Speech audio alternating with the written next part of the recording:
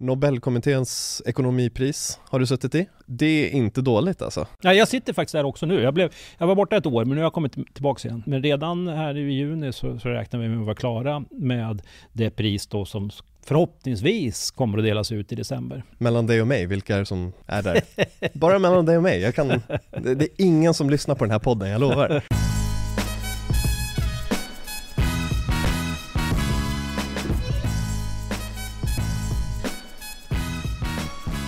Nämen, tjena allihopa och välkomna till Loungepodden. Taima Skafari heter jag. Det är inte vem som helst som gästar idag, det är ingen mindre än professorn i ekonomi John Hassler. Han sitter i Nobelkommittén för ekonomipriset han har varit ordförande för Finanspolitiska rådet som är ett kontrollorgan som kontrollerar så att Sveriges regering sköter sin ekonomi. Han är ledarskribent på Expressen och han är ofta ekonomiexpert på TV och radio och alla möjliga ställen.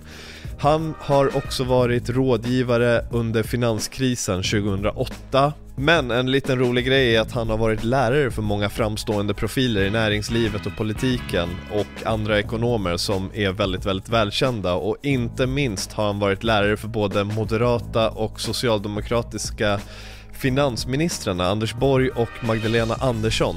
Och eh, intressant nog så har han också under sin tid som ordförande i Finanspolitiska rådet var han också som sagt den som kontrollerade deras budgetar, bokstavligt talat. Så eh, det är ju något som har satt sina spår i relationen med i alla fall en av de två som han berättar om i det här samtalet. Riktigt intressant. Och John är inbjuden för att prata om hela det ekonomiska läget, hur vi har hamnat i den här krisen som vi är i just nu, hur djup är den, hur mycket värre kommer den bli, när tar vi oss ur den? Så han pratar om allt ifrån räntor, börsläget, bostadspriser, lågkonjunktur, depressioner, vad ett mänskligt liv är värt, företagande, arbetslösheten, jobben, vilka saker han tror kommer fungera som politikerna behöver göra mer av och mindre av. Och varför jag bjöd in just John Hassler är för att han inte bara är så jäkla pedagogisk så att även någon som jag förstår och greppar allting. Men han är också jäkligt härlig och bjuder på sig själv. Vi börjar med hela samtalet med att prata om motorcyklar och det ekonomiska systemet, för varför inte?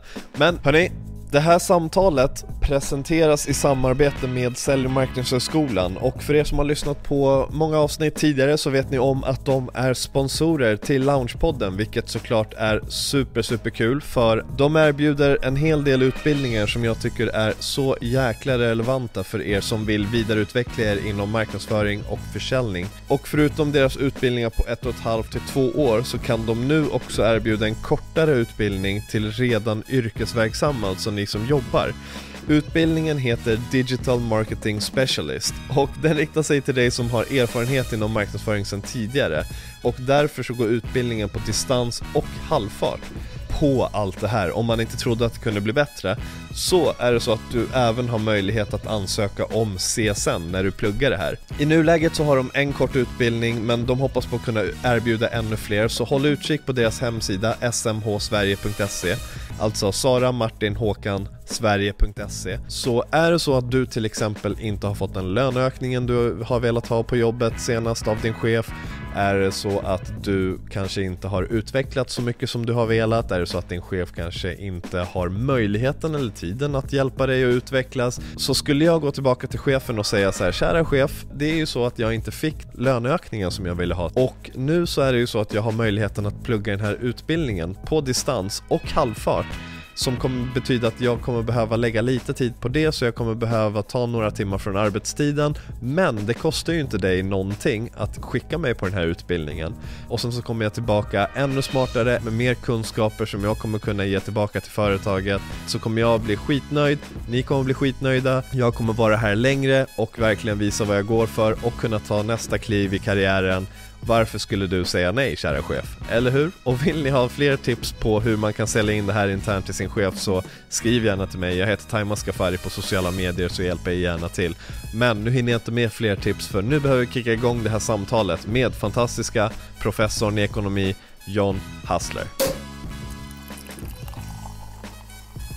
skjortan har blivit tight här nu under kristider. Man har suttit hemma. Ja, vad skönt att få cykla faktiskt. Som sagt, det var först, nej, en gång har jag gjort det sen i mars. Jag sitter ju i Nobelkommittén också, så att vi, eh, den är ute ut vid universitetet. Så det enda mötet där, det är enda gången jag har cyklat sen coronan slog till då. Då är det tack vare mig som du får cykla här. Ja.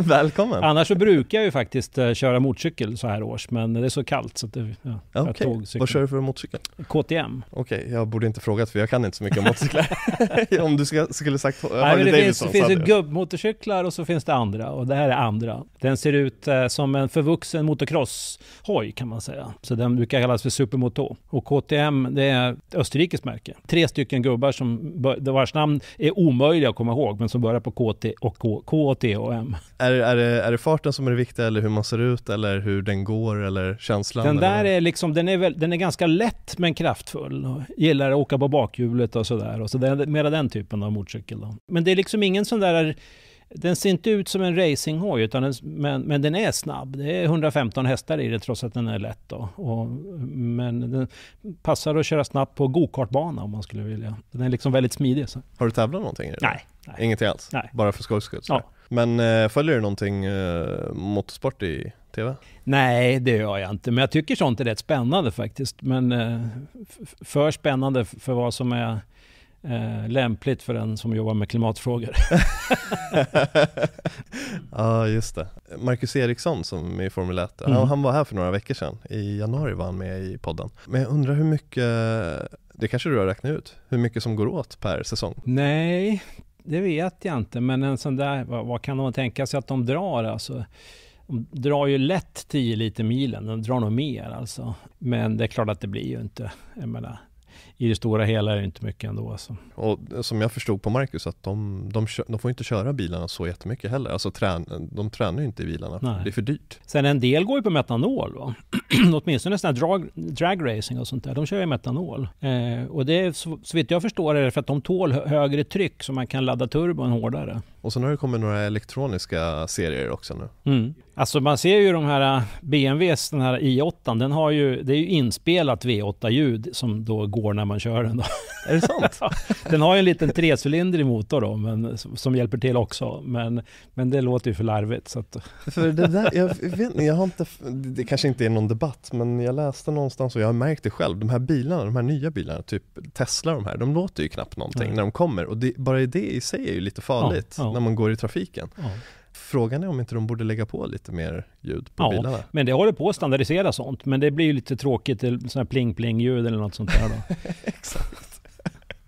ja, men eh, du, du jobbar hemifrån då sen sen pandemin kom? Mestadels, förutom när du är i media och sådär eller? Ja, eh, och en hel del media sköter man ju via Zoom eller Skype nu också. Även sådana, ja, Aktuellt och sånt där kan ju ske den vägen idag. Möten, konferenser, undervisningen sker helt via Zoom på universitetet. Och igår var jag med på en konferens som då var worldwide. En del satt i Kina, en del satt i Europa, olika ställen, en del satt i USA, några satt i Kanada. Mm. Det är ganska häftigt ändå att det där fungerar så pass bra som det gör. Det är ett bra komplement och, och vissa saker fungerar ju faktiskt enklare. Det är lättare att få ihop folk eh, när man inte behöver fysiskt träffas. Mm. Jag producerar en hel del andra poddar också, har gjort alltså väldigt många avsnitt nu på, på distans. Mm. Väldigt många som också börjar starta sina egna poddar nu för att det, det, är mycket lättare att få till det, som du säger. Alltså att få till med en gäst och att boka en tid, sätta sig i en studio, det tar liksom tid. Så på många sätt så är det ju många säkert som har blivit mycket effektivare också och märker liksom fördelar med det där. Det tråkiga är att webbkamerorna har ju tagit slut. Jag, ända sedan början på krisen har jag försökt få tag på en bättre webbkamera och det har, det har fortfarande så är det liksom stora leveransproblem. Ingen av elektronikkedjorna har ju webbkameror nu. Är det så? Eh, slut överallt. Och, och, kameran är viktig tror jag. Det här är en podd med bara ljud då, men, eh, men vi sitter ju tillsammans och, och ska man sitta och diskutera med andra är det faktiskt viktigt att se varandra. Men det funkar rätt bra med kamera. Men utan kamera funkar det inte. Och det är samma med undervisning. Jag insisterar på att mina, mina studenter ska eh, ha kamerorna på. Och då får, då får de ju förstås klä, klä på sig. men, men det blir mycket bättre då. Både för mig och tror jag faktiskt också för dem. Du föreläser en hel del på, för, eh, på för, eh, högskolan fortfarande och du har ju haft några riktigt kända profiler som, och det ska du också ha förresten. Jag la ju ut på våra sociala medier på LinkedIn och på Instagram sådär att du skulle komma om folk hade frågor och så. Eh, dels så var det väldigt många som blev liksom positivt, eh, alltså tyckte om det för de, tyck, de har sett dig i media och sånt där, tycker att du är behaglig och pedagogisk och sånt där och det förstår man när du föreläser på högskolor och, och universitet också såklart. Sen var det några som faktiskt hade haft dig som lärare också som, okay. som tyckte det var kul, ja, ett par stycken. Ja. Sen så i researchen så hittade jag också att du har varit eh, lärare för både Magdalena Andersson och Anders Borg. Det stämmer. Och Anders Borg har ju faktiskt, han kom tillbaks för några år sedan och sa att han skulle vilja fortsätta sina studier. Så jag är faktiskt formellt hans handledare nu. Men, eh, det, men det var ett tag sedan som jag såg honom på universitetet. men han hade tänkt sig att doktorera och han har väl inte helt lagt det åt sidan. Men, eh, men det verkar som att han sysslar med annat nu. Ja. Han skolkar en hel del då, det är det du försöker säga? Alltså, vi var två, han, eh, han ansökte om eh, studieledighet under det här året. Okay. det fick han. Jag förstår. Är de duktiga då? Eller var de duktiga? Hur var de? Alltså Anders, han, han skrev fantastiska essä-svar, eh, svar på essäfrågor. När det var räkneuppgifter var han okej, okay, men inte så mycket mer. okay. och Magdalena var nog ungefär samma också. Alltså att de, är, eh, de var duktiga på att liksom förstå och, och, och hur ekonomier fungerar. Uh. Men det liksom jättematematiska var väl inte kanske deras starka sida. Duktigare på liksom makroekonomin och det? Ja, en allmän förståelse, liksom intuition för ekonomin och sånt där. Det, det, det, har de ju och är duktiga på. Eh, men det är ju våran forskarutbildning är ju ganska liksom formell och ganska mycket matematik i den. Som tur är så får de säkert använda kalkylator nu i jobbet. ja. Kan de Pythagoras sats? Liggande stolen? Ja. ja. De kan båda två. Ja, det är de två grejerna jag kommer ihåg från matematiken. Men uh, den här ladan som, som alla pratar om.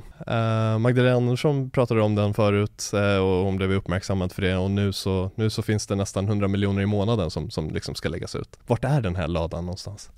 Ja, det där är ju en rolig historia faktiskt. Att när jag var ordförande för Finanspolitiska rådet eh, så eh, gick ju, och Magdalena hade precis hade blivit vald till finansminister, så gick hon ut och sa att det är tomt i ladorna. Eh, och jag sa då, och gick, hade en presskonferens och sa att jag tycker att det där är en ganska dålig liknelse, för det är inte tomt i ladorna. Det är sant att flödet ut ur ladorna då när hon tillträdde var lite eh, för, för stort. Och det var för att eh, eh, Anders Borg tappade greppet lite det sista året. Hans sista budget var lite för slapp. Och det gick ut lite grann över Magdalena. Men det var inte tomt, men det flödade ut för mycket. Mm. Och när jag sa det där i, i media att det är faktiskt inte tomt i ladorna, då blev Magdalena fruktansvärt förbannad. Så trots att jag är hennes gamla lärare och vi var åtminstone kompisar till kompisar, så har hon fortfarande efter det inte pratat med mig. Så är det att, eh, sant? Så att eh, när hon ser mig, då viker hon undan huvudet och, och går förbi, eh, tyvärr. Oj, okej. Okay. Det här visste inte jag. Jag, det, jag kommer ihåg det, för de som inte känner till det, men det var ju där när regeringsskiftet var, när sossarna tog över efter Moderaterna. Mm. Så det första Magdalena sa då, eh, som är socialdemokrat för er som inte känner till henne, så sa hon att det var tomt i ladorna för att ja, eh, den tidigare regeringen hade eh, spenderat för mycket. Och det blev en ganska stor grej och det är det här du pratar om ja, då? Så man, man, man, man hade, eh, säg 10-15 miljarder för mycket i i eh, underskott eh, Anders Borgs sista år. Det var egentligen för att han ville då införa en skattesänkning, det sista, det sista steget i jobbskatteavdraget som då var en bred skattesänkning framförallt för de låginkomsttagare. Det ville han genomföra innan han eh, avgick, mm. för han trodde de skulle förlora då. Det, hade, det, fanns inte rikt, det var inte riktigt eh, i budgeten. Det, låg, det, låg, det vart lite för mycket utgifter där. Mm. Och, eh, och det blev... Och då kritiserade Magdalena med rätta, men så tyckte jag att hon använde en dålig metafor. Och när jag sa det så tyckte jag att hon kanske skulle ha sagt att ja, men det var inte, den här metaforen var inte så viktig, utan det viktiga var ju att eh, det faktiskt flödar ut lite för mycket pengar och det, vi behöver ta hand om det nu. Eh, men, eh, men det ville inte hon, utan hon blev väldigt arg och sa att den här metaforen, den är verkligen helt korrekt. Det är tomt i ladorna. okay. Vilket det inte var och inte är nu heller. Men sen beror det på vad man menar med tomt i ladorna också. Det är inte så att att eh, staten sitter med massor med, med eh, uppdämda resurser, liksom enorma guldkister som farbror Anka eller någonting sånt där och kan, och kan bara dela ut. Så är det ju inte. Utan det behövs spenderas jättemycket under den här krisen. Hundratals miljarder och redan är ju, är ju kanske 200 uppbokade. Det där måste lånas upp. Eh, så att det är inte så att man, man, man kan ta en ur kassakistan.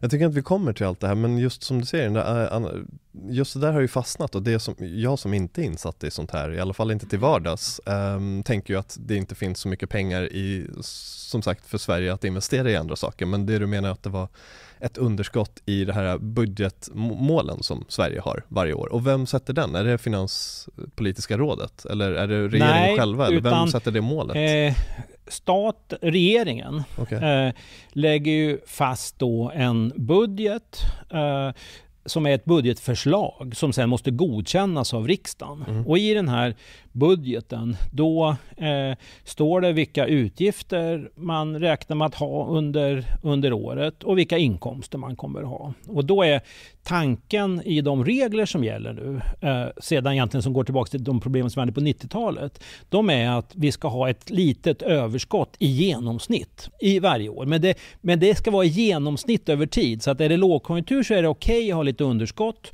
och är det eh, högkonjunktur så kan, då ska man å andra sidan balansera det med lite överskott. Då. Eh, För om det är lågkonjunktur så är det okej okay att investera mer, i, som man ser det eller?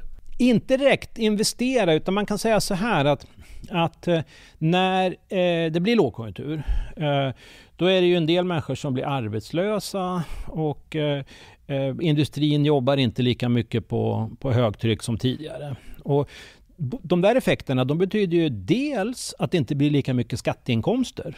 För att det är inte lika mycket inkomster som genereras och då blir det inte lika mycket skatteinkomster. Och så betyder det dels att vissa utgifter blir högre, till exempel för att betala för a-kassa och, och sådana saker.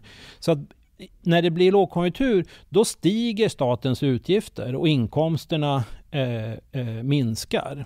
Och då, då vore det inte så bra om staten då skulle Eh, försöka åtgärda det där genom att minska på sina utgifter och skära in på a-kassa och barnbidrag och alltihopa det där. Och, och kanske höja skatterna.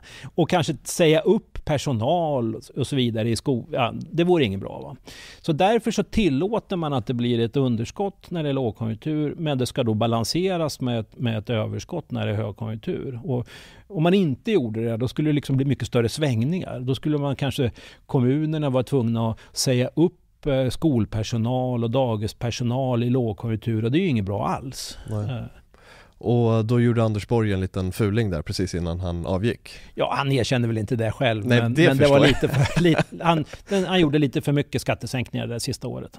Och Finanspolitiska rådet pratar de också då. Så att det, regeringen, de lägger ett förslag till budget som sen riksdagen då godkänner men det har hänt att riksdagen har sagt nej och istället tagit ett eget. Så första året faktiskt som Magdalena Andersson var finansminister 2014, då gick faktiskt oppositionens, den eh, moderata budgeten gick igenom istället, eller allianspartiernas budget. Så sånt kan hända också. Men sen har vi Finanspolitiska rådet som är eh, eh, eh fem stycken eh, professorer mm. som har ett kansli som har i uppdrag att liksom granska att de sköter sig. Så varje år så kommer en rapport där, som då säger huruvida man tycker att de har skött sig eller inte.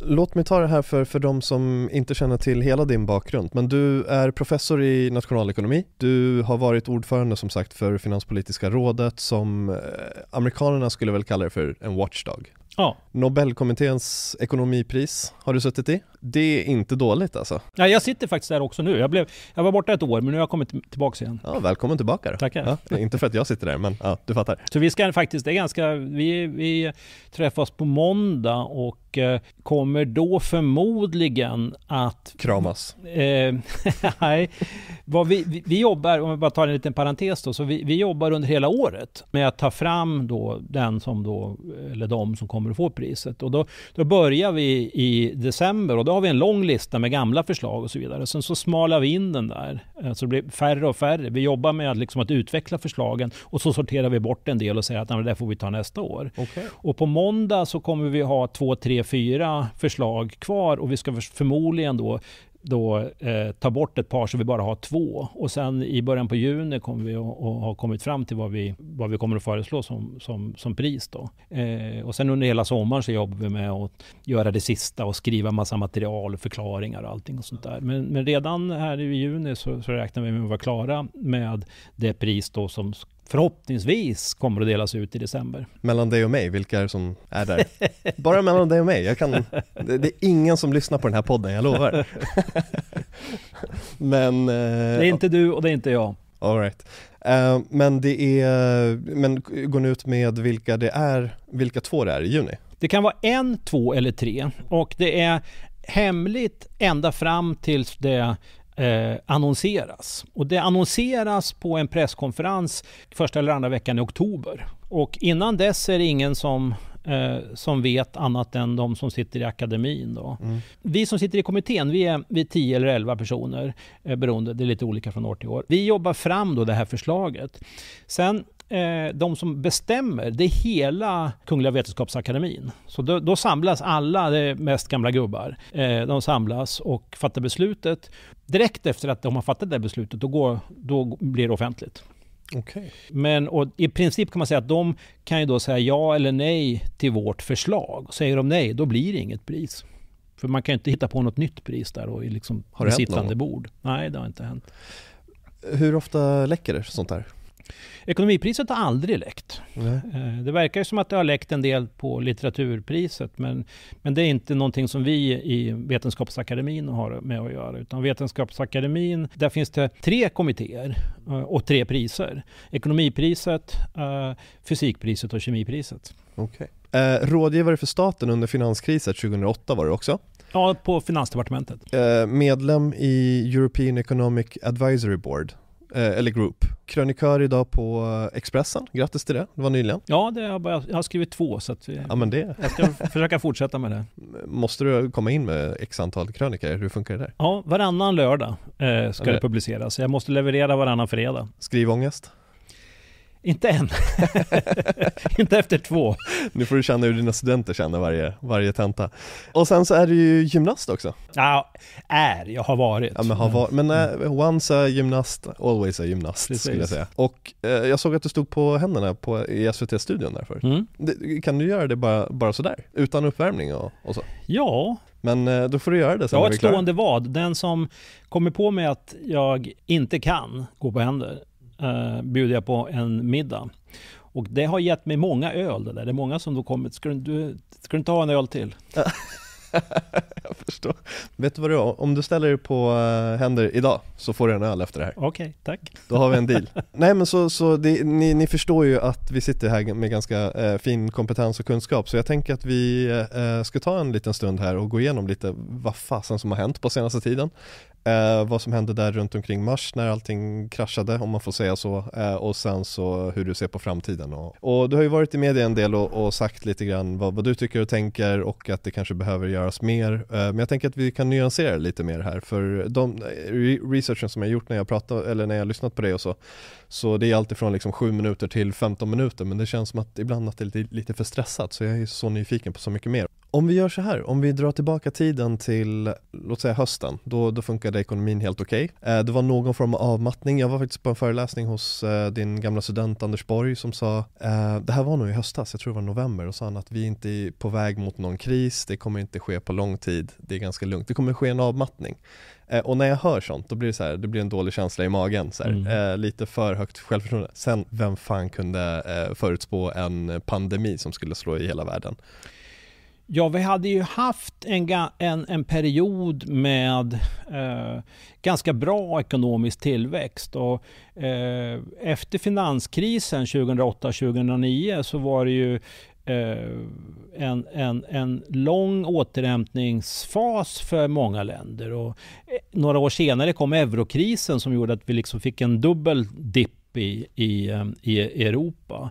Eh, och det var lite segt att komma tillbaks. Men eh, för några år sedan kan man säga att då hade vi i, överallt i världen ändå kommit tillbaks över liksom genomsnittlig aktivitetsnivå i ekonomin. Så då, då, då var det ganska bra och så fortsatte det uppåt. Men det verkade som att det var på väg neråt lite grann. Och arbetslösheten i, i många länder stabiliserades. Den hade inte börjat öka men det var ju ändå, eh, det verkade som att det liksom blev som du sa en, en avmattning. Att vi gick, var på väg att till, gå tillbaka till liksom ett ganska skapligt normalläge i ekonomin. Även sådana länder som hade det riktigt tufft, alltså typ Grekland, ja. Italien, ja. Eh, var det Island också? Har jag fram, fått fram ja. det här? Ja. men de hade ju en bankkris som de hade tagit sig ur. Va? Och eh, Irland hade också en, en bankkris då som där, där eh, staten gick in och tog, tvingades gå in och ta över bankerna och tog, tog över en massa skulder och det blev lite för mycket för Irland. Italien och, och, och Spanien och Grekland hade det jobbigt, särskilt Grekland då. Eh, och Grekland fick ju väldigt mycket hjälp då att klara sina, eh, sina skulder. Eh, och en hel del skrevs av och man gjorde liksom fördelaktiga villkor när det gäller räntor och sånt där. Men, men det var ganska, det där var nog kan man säga i, i stor utsträckning, i varje fall inget akut läge längre. USA hade haft då den längsta eh, perioden med, med god tillväxt på mycket länge. Kanske man får gå tillbaks till, till 50-60-talet ehm, för att se liknande perioder. Så det hade varit väldigt bra under en väldigt lång tid. Och när 2008-2009 den där krisen kom, det, det, man fick höra då var att det här var en av de värsta kriserna vi har haft sen, eller i alla fall på väldigt lång tid. Jag, jag vill inte jag har för mig att man snackade om 20-talet, men i alla fall 90-talet där. Stämmer det? Och var ja, det så var, illa? Den var, den var väldigt djup ja. och eh, när den slog till så var många oroliga, jag också, eh, för att det här skulle leda till eh, det som vi brukar kalla depression då, som inte har sett sedan 30-talet. Det vill säga att jätte hög arbetslöshet under väldigt lång tid och, och jättedålig tillväxt och, och eh, stora, stora ekonomiska problem. Det blev det inte. Eh, och det ble, var orsakat, tror jag, av att man hade lärt sig vilken typ av politik man, man, ska, man ska göra. Att, eh, efter en sån här stor börskrasch och så, va, då, måste, då måste staten gå in och hjälpa till. Ta över risk, köpa osäkra tillgångar, se till att det finns pengar och så i ekonomin. Och det gjorde man. Och, och, då, då kunde man komma, i USA kunde man komma tillbaka ganska, ganska snabbt faktiskt. Eh, det var en, sådär, en, en, en till problem i, i, i, Europa beroende på att det, var, det fanns en massa skulder och annat som man inte riktigt kände till och, och, och i, eh, i Grekland och sånt där. Så det, där, där kom det lite mer. Men, men på grund av bra politik så kom vi ändå ur den här eh, krisen på 90-talet. Depressionen, då reagerade man tvärtom då. Att det blev en börskrasch, banker kollapsade och så vidare. Då drog staten åt. Och, liksom, och mm. man, räntorna gick upp och man, man, man började säga upp personer och sånt där i offentlig sektor. Och då blev det jätteilla. Den som var chef för eh, USAs centralbank under eh, finanskrisen. Han heter Ben Bernanke och eh, är en jättetung forskare som just har forskat om vad det var som gjorde att det gick åt fanders under 30-talskrisen. Och att det just var han som var chef för USAs eh, centralbank, Federal Reserve. Det var jätteviktigt. Han, han visste, vi får inte göra samma fel.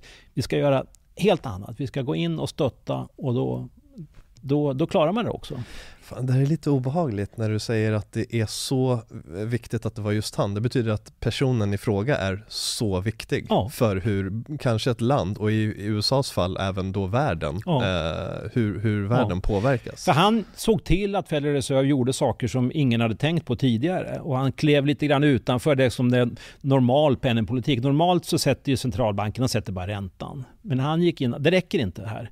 Vi måste gå, om ingen vill köpa Eh, bostadsobligationer, ingen vill låna ut, ja, då får vi göra det. Vi kan, vi kan alltid låna ut för vi kan trycka pengar. Och hur, alltså hur ser du på den fria marknaden som det pratas om? Alltså hur fri är den om det är så att staten eller Riksbanken går in när inte marknaden vill handla eller har misslyckats, vilket är fallet i alla fall 2008. Nu är det ju en annan situation och vi kan komma till nyanserna till idag, men hur ser du på det där? Vad är staten och Riksbankens roll i helheten när eh, krascher kommer som är påverkade av själva marknaden?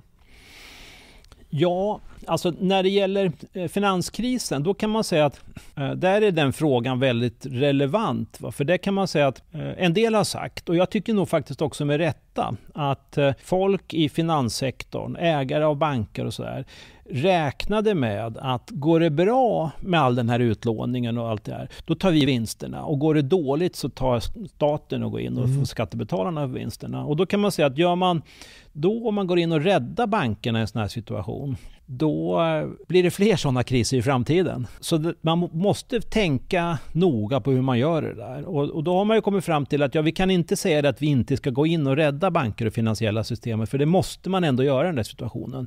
Men vi kan ställa krav på att bankägarna ska stoppa in mer pengar av egna pengar eh, i det hela. Va? Och, eh, så att vi har gjort vi ställer helt andra krav på bankerna idag för att minska den här risken att de ska kunna tjäna pengar när det går bra och så får skattebetalarna ta, ta konsekvenserna när det går dåligt. För det blir också ett incitament som de vet om då. Att så, okay, varje gång, nu kan vi ta massa risker. Ja, men det var därför man faktiskt, det första reaktionen då även från Federal Reserve, det var att när Lehman Brothers, som var de första som fick problem, eh, eh, gick i konkurs, då sa man nej, ni får sköta det här själva. Men sen så insåg man att det gick inte att göra det överallt. Då, va? Men, och så och, eh, så att en lösning skulle kunna vara att säga det att vi garanterar att vi kommer aldrig att lösa ut någon. Eh, men det är nog inte så trovärdigt. Och då är en bättre lösning att säga det att ja, vi, vi inser att staten och skattebetalarna får nog gå in och lösa ut. Men då ska vi ställa väldigt hårda krav på att aktieägarna ska först ha liksom, eh, stoppat in mycket pengar och deras pengar ska ryka först av allt innan man går in med, med statliga garantier och så vidare. De riktigt samhällskritiska eh, företagen. Och dit räknar jag faktiskt inte SAS, men banker som är då särskilt liksom benägna att ta lite för stora risker om de vet att de inte behöver ta de negativa konsekvenserna. De måste vi ha liksom verkligen ögonen på och ställa hårda krav på. Och, eh, de ska ha en, en, en, en mycket större andel än vad de själva vill av de pengar som de spekulerar med ska vara aktieägarnas egna pengar, bankägarnas egna pengar och inte andras. Eh, och, och gör vi det där tillräckligt liksom, eh, ordentligt, då, då kan man nog komma komma runt en del av de här problemen. Då, då förstår de att det, det i de allra flesta fallen, om vi gör för riskabla investeringar, då är det vi själva, våra kapitalägare, våra aktieägare, som, som får ta smällen. Och sen de här riktigt extrema tillfällena, som nu coronakrisen, då, då, får, då får staten gå in och, och, och, och, och hjälpa till. Men, men det är ändå förmodligen så pass sällsynta eh, saker att det inte ställer till så mycket av, av sådana här incitamentsproblem. Men, men för jag tror ju inte då att vi får fler coronakriser på grund av att staten har gått in nu. Men det är definitivt så att om staten alltför lättvindigt går in och hjälper banker, då får vi fler bankkriser. Precis, för den här situationen, det känns som den här situationen, det är det som staten är till för. Eh, liksom att vara en form av försäkring för samhället. Liksom. Men det gäller ju allt. Alltså, en viktig del av välfärdsstatens uh, uppgifter är ju att gå in och fungera som ett försäkringssystem för för försäkringar som inte fungerar så bra på marknaden. Eh, eh, och det gäller ju liksom, jag menar, grund, det gäller pension, det gäller sjukförsäkring, det gäller a-kassa och sånt där. Då, då tycker man att ja, men det här fungerar nog bättre om, om staten eh, går in och gör det här. Eh, men men det har ju också incitamentsproblem. Om staten är för generös när det gäller a-kassa och sådär, då blir det inte tillräckligt stort tryck på folk att man ska skaffa, skaffa jobb när man har blivit av med det gamla. Så att, så att det, det finns liksom, incitamentsproblem finns i alla, för, liksom alla typer av försäkringar. Och, och, eh, oavsett om de är privata eller, eller offentliga. Och det gäller också sådana här saker att gå in och lösa ut företag. Men då tycker jag att när det gäller coronakrisen så är incitamentsproblemen inte särskilt problematiska. Är det helt omöjligt att leva i en helt fri marknad? Nej, men jag tror inte vi skulle vilja göra det. Alltså vi, våra ekonomiska modeller, de bygger ofta på att alla marknader fungerar perfekt. Liksom att alla har information om allting, att vi kan liksom skriva kontrakt om allting, man kan träffa en coronaförsäkring. Alla visste att det där kan komma, vi vet inte när, men det kan komma. Eh, det finns liksom inte några eh, osäkerheter om eh, att, att folk försöker luras och så vidare. Och I en sån situation, då kan alla marknader fungera, då behövs ingen stat. Men i praktiken är det ju inte så. Va? Och, eh Ehm, och staten, om inte annat så behövs ju staten som någon sorts eh, som för att upprätthålla lag och ordning och liksom reglera vad som, vad som, vem, som, ja, vem som har rätt, om det är tvister och så vidare. Så vi vill ju inte ha vilda västern. Är banker och vissa företag för stora för sitt eller vårt bästa? Och nummer två, varför tar inte staten över alla dem? Ja, när det gäller den här frågan om de är för stora så skulle jag nog säga att vi kanske har haft lite för stora banker i, i Sverige. Och att Sverige liksom ska fungera som en bank och eh, att, eller svenska banker ska fungera som en bank åt eh, Baltikum och alla sådär. Det, det är väl inte helt uppenbart att det är riktigt bra för Sverige. Nu har ju Nordea flyttat till Finland då, så att, så att det har ju liksom, det, om det var ett problem så är det åtminstone minskat lite grann. Mm.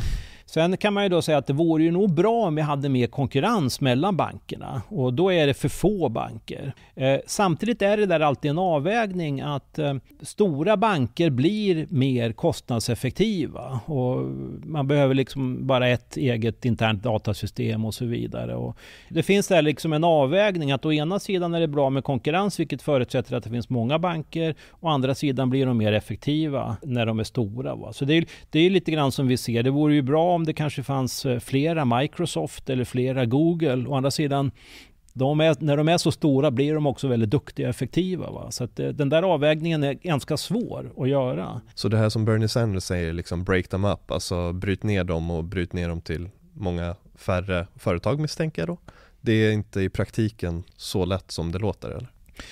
Eh, ja, det går ju, men, men det, är, det, har också kostnader förenat med sig. Så att mycket av liksom, den här tekniska utvecklingen som vi har sett eh, gå så snabbt i många branscher, den beror ju på det vi kallar stordriftsfördelar. Då. Att, att eh, stora företag kan bli bättre och effektivare. Å andra sidan blir de lite mer monopolistiska och, och lägger på större marginaler. Och hitta den där balansen är inte enkelt. Eh, men, men, det, men det pågår ju hela tiden en diskussion om vad man ska tillåta. Och, eh, när man ska slå ihop stora företag inom Europa och även inom USA, då måste man få tillåtelse för det av konkurrensmyndigheterna och det får man inte alltid.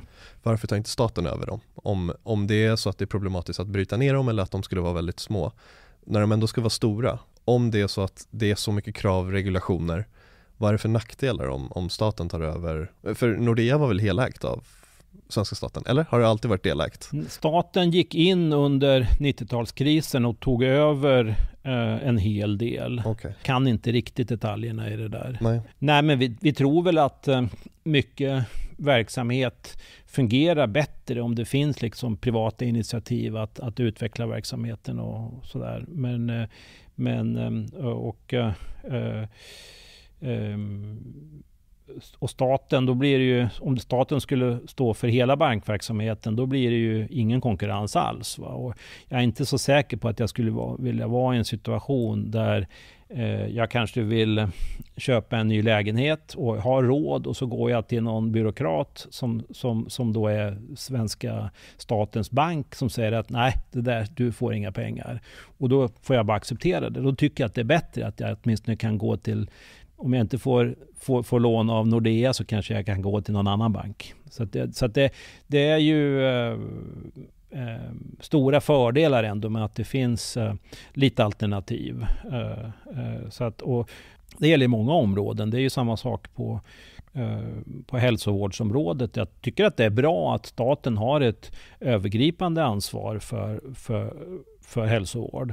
Men att det finns lite privata läkare och lite privata sjukhus och lite privata tandläkare och sådär, det tror jag inte är dåligt. Mm. Vi fortsätter. Då började i alla fall alla länder, Europa och USA, återhämta sig där. Och sen så mot eh, 2019, slutet på 2019 så såg man en avmattning då, som vi var inne på. Och sen så kommer eh, det ett virus och nu är vi här. När börjar du förstå att det här är illa liksom? Eh, ganska sent också faktiskt. Säg eh, eh, första veckan i mars kanske. Insåg du att det här kommer påverka ekonomin direkt? Ja, det förstod man ju. Men det tog nog någon vecka till innan jag förstod hur pass eh, djupt det här skulle bli. Va? Det kom ju en vecka där liksom allting bara kraschade. Det var ju typ största fallet sedan 80-talet? Nej, jag tror aldrig vi har sett någonting sånt här i, i, i varje fall den historia som vi har liksom lite data från. Okay. Mycket snabbare ner än, än under tidigare kriser, inklusive 30-talsdepressionen. Men vad som hände var ju att man väldigt snabbt överallt i världen insåg att eh, produktion och konsumtion av varor och tjänster som kräver sociala kontakter kan vi inte hålla på med just nu.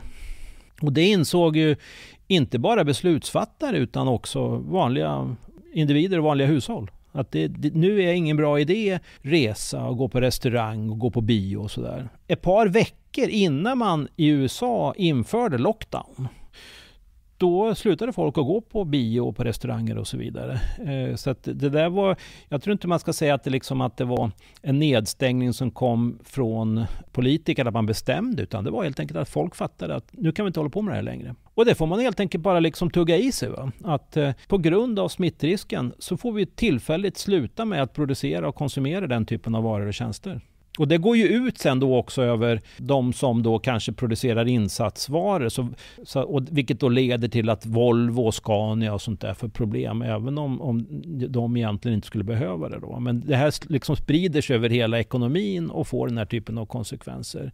Och min gissning är ju att vi i Sverige och i, många andra länder kommer att tappa Eh, i genomsnitt storleksordningen en månadslön. Så att BNP, eh, produktionen av varor och tjänster faller med säg 10 i, i, i de flesta länder. Eh, och eh, det betyder att man tappar och faller liksom produktionen, då faller också inkomsterna. Men om vi hade bara tappat en månadslön jämnt av allihop då hade det inte blivit så stora konsekvenser. Då får man liksom, det får man bara ta, tugga i sig och sen jobba vidare. Men problemet är att de här förlusterna drabbar väldigt ojämnt. Och, och, och det behövs det politik för. Kan du utveckla det lite grann? Ja, alltså det är ju inte alla som producerar varor och tjänster som då vi nu måste sluta med att producera. Det är ju inte alla som håller på med transport och restaurang. Många andra, och de flesta faktiskt, kan ju fortsätta att producera där man håller på med att jobba med det man håller på med. Man kanske måste ställa om lite och jobba hemma och så vidare. Eh, men men eh, i de här eh, eh i de här eh, liksom, utsatta sektorerna av ekonomin, där faller ju inkomsterna till noll. De kan ju inte sälja någonting. Och det där håller på i, får vi, det har redan hållit på några månader och vi får räkna med att det håller på några månader till. Och de kommer ju att tappa mycket mer än en, än en månadslön. Eh, och då direkt drabbas de ju då de individerna som är där mycket hårdare. Men framförallt, så, eller framförallt, men också så drabbas ju de företagen. De, de går under. Om det får tillåtas ske, då blir våran produktionsapparat skadad. Eh, och jag har tidigare eh, eh, gjort jämförelser med, med en krigsekonomi. Va? Och också i en krigsekonomi så liksom måste man stänga ner vissa typer av verksamhet. Man, en del av, av personalen måste göra någonting annat, kanske åka till fronten och försvara, försvara oss och så vidare. Va? Och det betyder att en hel del produktion måste stängas ner. Men det får man ju då ta och man får försöka fördela det på ett rimligt sätt. Eh, och man gör ju det här då för att eh, undvika att Eh, eh, mera fysiskt kapital blir förstört i landet. Va? Att vägar blir sönderbombade och, och, allt möjligt tokigt händer i ekonomin. Va? Nu i den här ekonomin så är det ju också så att massa produktion måste vi stänga ner.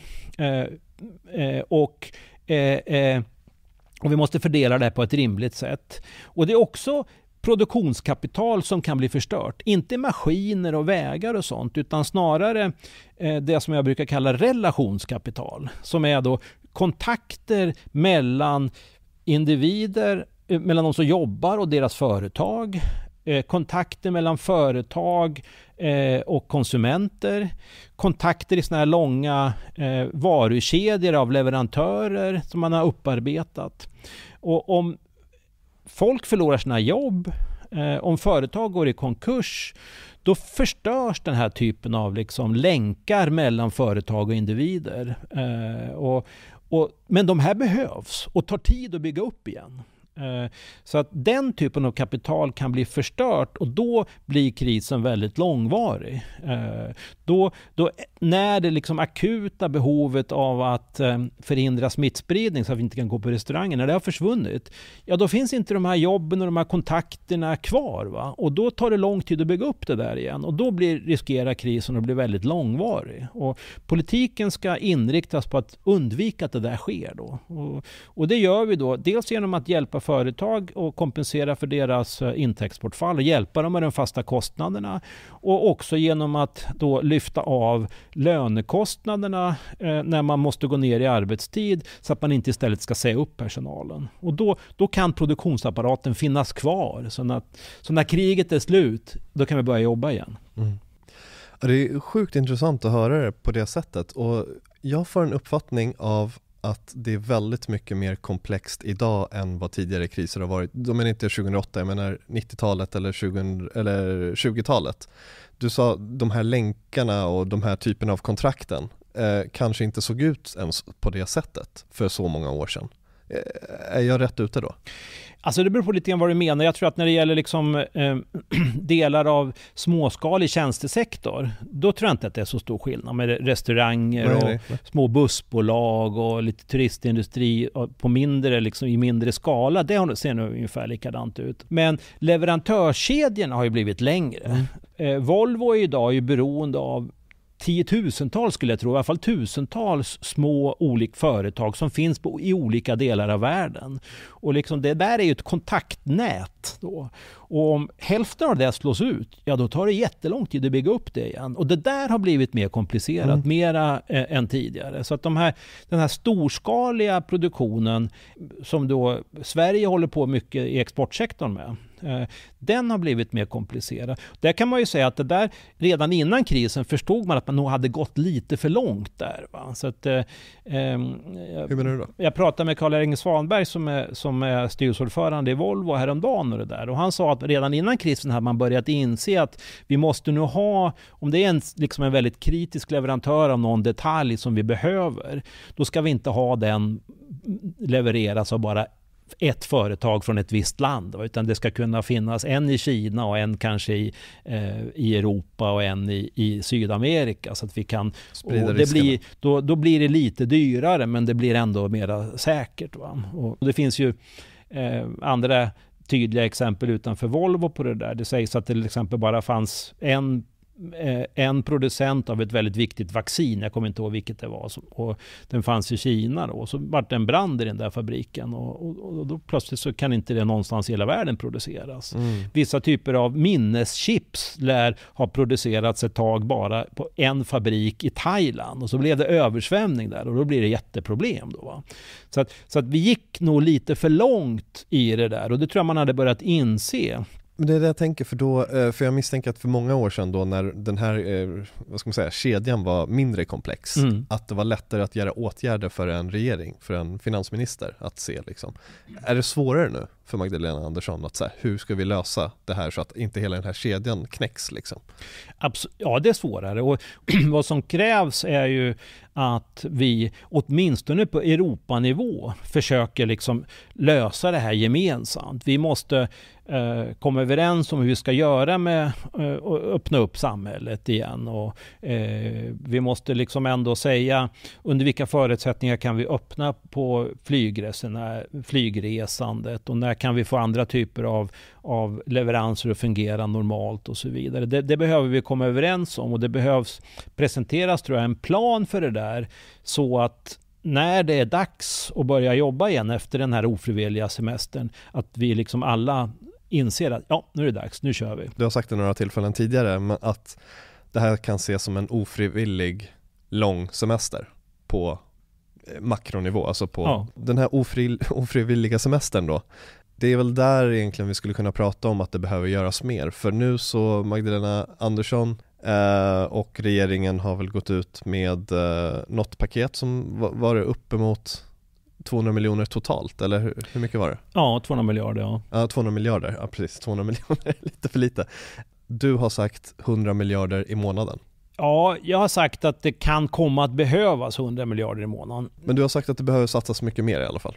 Ja, jag, jag tror nog att det är ganska... Nu efter de här senaste då eh, åtgärderna där man då säger att de företag som har tappat mycket omsättning, då går man in och lyfter av merparten av deras fasta kostnader.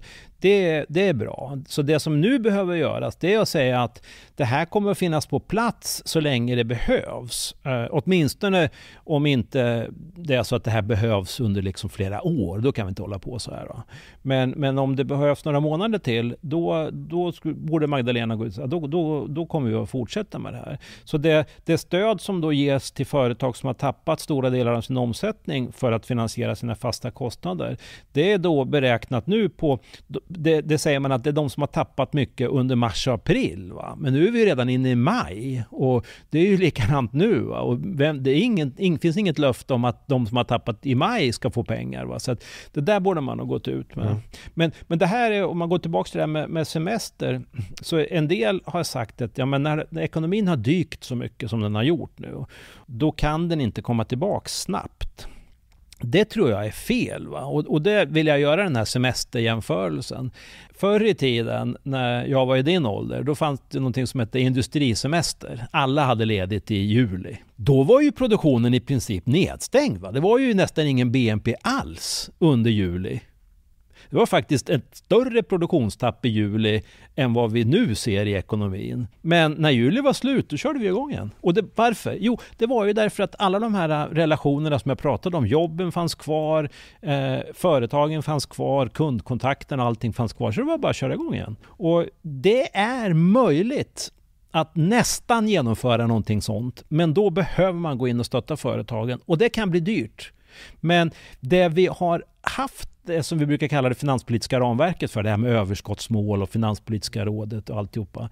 Det var för att vi ska ha resurser i staten att göra så här om det skulle behövas. Mm. Så vi, vi visste att det kan komma att behövas såna här massiva statsutgifter på många hundra miljarder. Vi vet inte för vad, men det kan komma. Och det är väldigt bra att ha de möjligheterna. Nu har den där tiden kommit. Men det här som du säger semestern, att då att man går tillbaka och börjar jobba, låt säga i augusti eller september när den här industrisemestern skulle potentiellt ta slut i en, i en sån eh, variant som du pratar om, nu är vi i maj då. Eh, för övrigt så spelar vi in det här i mitten av maj 2020 för er som lyssnar på det här långt eh, längre fram. Så man vet vilken situation vi är i just nu och vilka, vilka förutsättningar vi har just nu. Men behövs det inte förutom att eh, det investeras mycket också det som eh, eh, Kerstin Hessius pratade om ett slutdatum, att vi vet om som, som samhälle när vi alla tillsammans ska gå tillbaka och försöka få igång det här kugghjulet igen. För om det är några som håller på att försöka få igång det, några drar inte, då blir det liksom den här dragkampen, man hjälper liksom inte varandra och man kommer igång på olika sätt. Ingen vågar investera, jag vågar inte investera om jag inte vet att någon köper av mig, eller hur? Så det här slutdatumet är väl jätteviktigt också? Ja, precis som du säger så är det så att vi är liksom, ekonomin är beroende av att alla samtidigt liksom ändå kör igång. Om ingen vågar ta första steget, då är det precis som du säger, då kan vi fastna. Och då kan man fastna i en sån här eh, depression som vi säger, en lång och djup lågkonjunktur som vi liksom inte riktigt kommer ur. Så det där är jätteviktigt. Sen tror jag då, till skillnad från Kerstin, jag vet inte riktigt vad hon menade med det där, men jag tror ju inte att man kan säga nu ett visst datum, det funkar inte. Utan, tror inte hon bara ville få igång diskussionen? Kanske. Mm. Eh, men vad man däremot kan säga, tror jag, det är ju liksom eh, någonting i stil med att, ja, när vi ser då att en viss proportion av, med, eh, av våra medborgare har, har eh, fått antikroppar och så vidare. När, då, när vi känner det och när smittskyddsmyndigheterna säger att ja, men nu är det nog inte så farligt längre. När det sker, då lovar vi att då ska vi köra igång. Då ska vi öppna gränserna, då ska vi ta bort restriktionerna och så vidare. Sen får vi se vilket datum det där inträffar. Men, eh, men det där skulle man tydligt säga liksom, så att alla vet vad det är som gäller. Vad det är, vad det är som kan trigga att man kan liksom släppa på restriktionerna. Och då, då vet alla, ja men nu, då ser vi, ja men nu har det där kommit, då kör vi igång. Mm. Hela mitt resonemang det bygger ju på att eh, det här är en tillfällig sak, att det går över ganska så snabbt. Att vi framåt hösten kan ändå släppa på det mesta av det här om vi ser det från ett smittskyddsperspektiv jag är ju inte smittskyddsexpert, så jag vet ju inte. Det, det, det, skulle ju kunna vara så att det här går väldigt långsamt, det är jättesvårt, vi, vi kommer aldrig i närheten av flockimmunitet, det kommer inget vaccin och det här liksom blir det nya normala. Då är ju läget annorlunda, då måste vi tänka på ett annat sätt. Då måste vi liksom styra om, då måste vi tänka att de här som jobbade i restaurangindustrin och i transportindustrin och så vidare, deras jobb kommer inte att komma tillbaks. Vi måste hitta några nya jobb till dem. Och, och, då ser det mer ut som under 90-talskrisen. Och då kommer det att bli jobbigt. Eh, då, då måste vi skapa en massa nya jobb. Det tar tid och det kommer att vara hög arbetslöshet under tiden. Jag säger inte att det är omöjligt att det blir så, men det är inte huvudscenario tycker jag. Ser du, alltså nu har vi inget tydligt slutdatum, men eh, hur tycker du Folkhälsomyndigheten har varit behjälpliga där och, och Stefan Löfven också behjälpliga i att försöka ge oss någon form av ledtråd i form av när och hur och sådär. För de, de skjuter ju upp på saker och ting och säger inte tydligt någonting. Och jag förstår det, det förstår man ju. Men eh, vad, skulle, vad ser du den här röda linjen där nu hoppas jag på att vi skulle kunna gå tillbaka? För du måste ju ha någon gissning. Ja, men jag vill inte egentligen uttala mig jättemycket om vad som är rätt liksom vad, vad det är man ska titta på i hälsoläget när man kan fatta beslut om att släppa på restriktionerna. För det måste man ändå vara liksom smittskyddsspecialist på. Va? Nej, men jag menar hur eh, men jag de har kommunicerat man, jag läget in, uppdaterat? ja, jag, tycker att, jag tycker inte de har gjort ett jättebra jobb där. Eh, jag har ingen anledning att, liksom att säga att man har valt fel smittskyddsåtgärder. I, men, men, jag tyck, men däremot så tycker jag tydligt att man kan säga att man borde varit klarare med liksom vad det är som, vad det är som vi, vad vi, vad vi ska titta på. Va? Är det så att vi, vi eh, eh när vi har nått liksom 20 procents eh, eh, grad av personer, an, andel av personer som har antikroppar, ja då kan vi släppa på den här restriktionen. Och, eh, och är det så att, att eh, liksom vi ser så, så, den typen av siffror skulle jag vilja liksom se mer av. Mm. Och då, då, skulle man, tycker jag, både som, som privatperson och som företagare kunna liksom göra bättre planer. Va? Och, och det är jätteviktigt att, att folk får möjlighet att göra. För är man bara liksom osäker och vet ingenting, va? det är klart att då kommer man inte investera. Och då, kommer man, då riskerar man också fastna i den här situationen som du pratade om tidigare, när ingen vågar ta första steget. Mm. För så känner jag väl att många företagare som jag pratar med känner just nu. Mm. Ingen vågar ta första steget. Mm. Um, och ingen vågar satsa på någonting och man avvaktar och alla förhandlingar som har legat och tänker man att vi tar det här efter krisen, men när är efter krisen liksom? Det vet ju ingen. Uh, men du, du nämnde att de kunde vara lite duktigare på att vara li lite mer tydliga på vilka saker man ska titta efter och det förstår jag att du tycker eftersom att du är ekonom. Uh, och, och de skulle, någon från Folkhälsomyndigheten kanske skulle säga nu att vi har inte varit med om något liknande, vi vet själva kanske inte, de kanske inte skulle säga det så öppet, men jag antar att de själva inte riktigt vet vad, vad och när och hur liksom. Och vad kan vi titta efter då, när vi inte får något svar? Är det bara att sitta och vänta? Ja men då får man ju säga det, vi har ingen aning. Det enda vi hoppas på är ett vaccin. Så får man säga att, och vi vet inte när det kommer, men det är det ni ska titta på. Men jag tror att de vet mycket mer än så. Jag tror, jag tror att de har en skaplig uppfattning och den kan ju också vara betingad. Då kan man ju säga så här, liksom kan man ju säga att ja, våran bedömning är att Antingen är det så att eh, de som har haft den här sjukdomen, de utvecklar ett, ett långsiktigt eh, skydd. Eh, och det betyder att då behöver vi bara titta på hur många som har haft det vid något tillfälle. Och när tillräckligt många har haft det, då kommer vi eh, att kunna öppna allting. Eller så kan det visa sig att eh, skyddet som man har få, får när man har, eh, när man har haft smittan, den håller inte i sig så länge. Och då måste vi tänka på det här sättet istället. Och då måste vi lägga om strategin så att vi kanske inte går tillbaks riktigt till samma typ. Och vi behöver veta det här. Och det kommer vi att veta vid något tillfälle för att vi gör så mycket tester och, och undersökningar så förr eller senare kommer vi att veta vad det är som gäller här. Eh, och när vi vet det, då kan vi ta ställning till vilket vi ska göra. Så då kan man titta på det. Va? Så liksom, mera tydlig sån, sån strategi, eh, liksom en sån beskrivning av eh, vad vi säger betingade planer då. Så att planerna är betingade på att någonting ska visa sig vara sant eller falskt. Och det vet vi inte än, men vi kommer att veta det vid något tillfälle. Mm.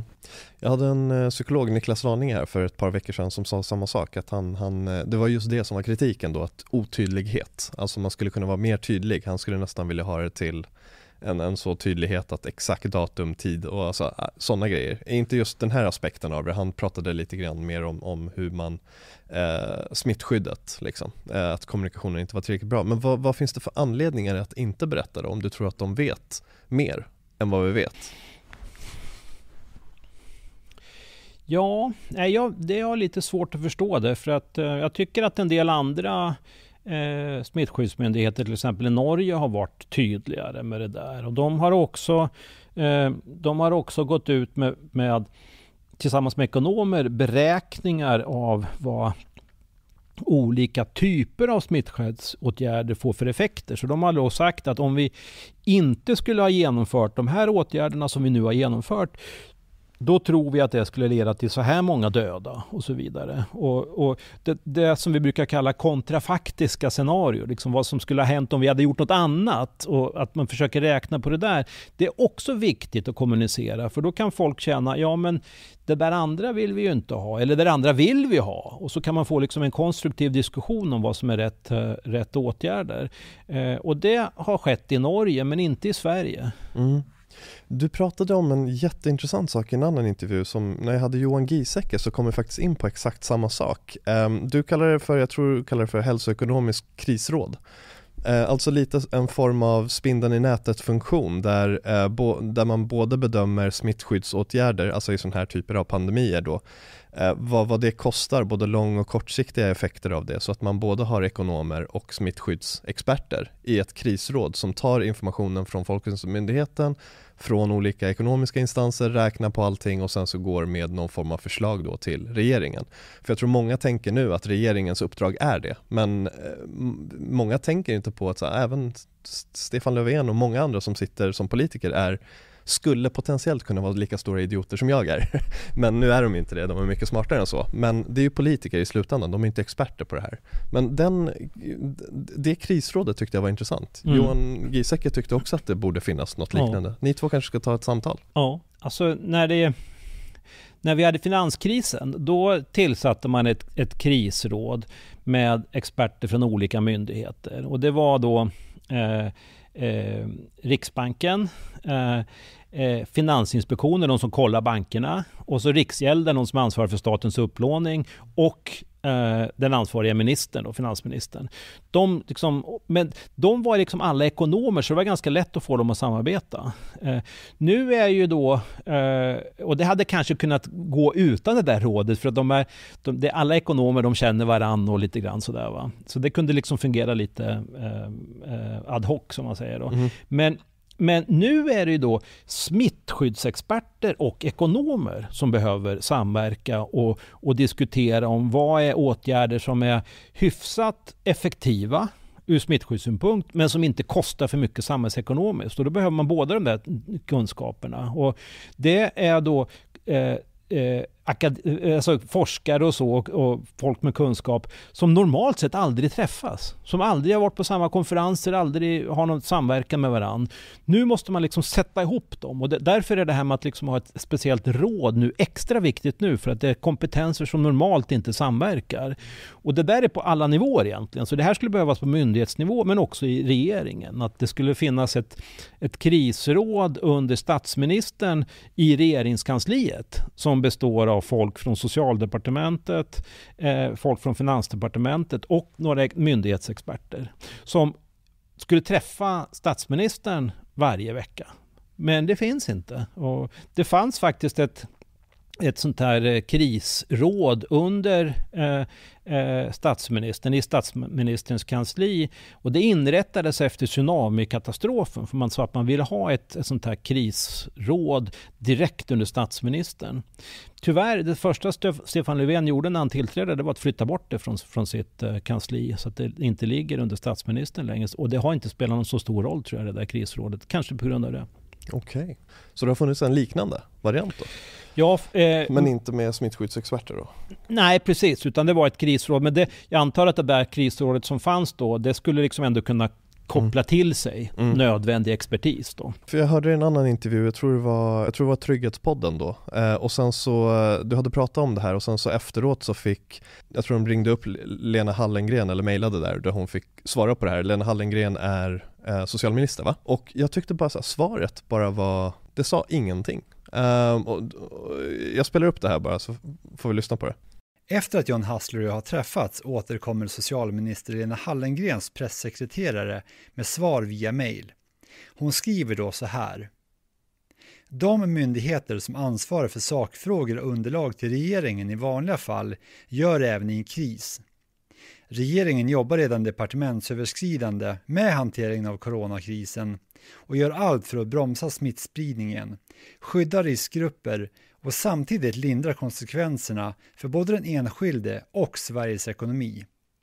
Det finns i nuläget ingen plan att inrätta ett hälsoekonomiskt krisråd. Men vi är i ett läge just nu där saker ändras snabbt och vi utesluter inga åtgärder.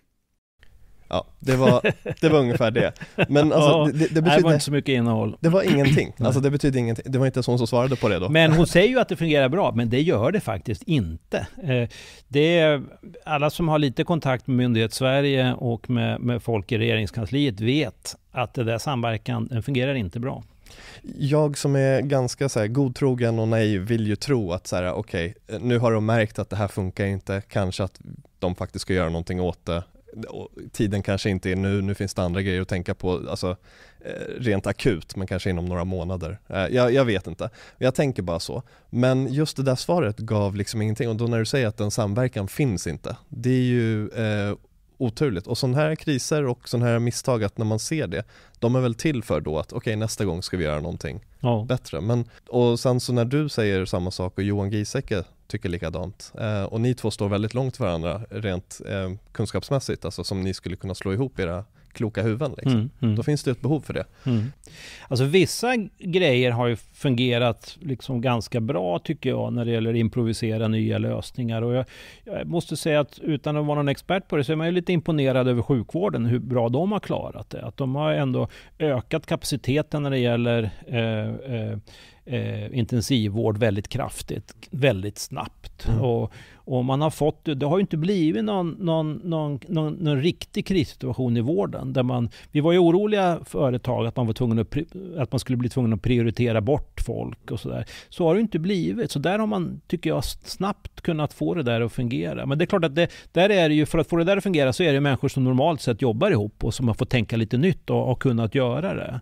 Eh, men just den här avvägningen mellan ekonomi och, och, och smittskydd, den för, för, förutsätter helt nya liksom, eh, eh, kommunikationskanaler som inte fanns tidigare och det har inte fungerat så bra. Nej, för, för ett sånt krisråd också, för de som kanske fortfarande, nu sa ju Lena Hallengren i det här svaret, eller hennes eh, eh kollega, skrev då att så här, det, det sker redan överskridande liksom, samarbeten och jag, precis det som vi pratade om, fortfarande det är politiker som gör det men det är inte experter som eh, liksom sammanställer alla de här och diskuterar vad som bästa gemensamma faktorn är.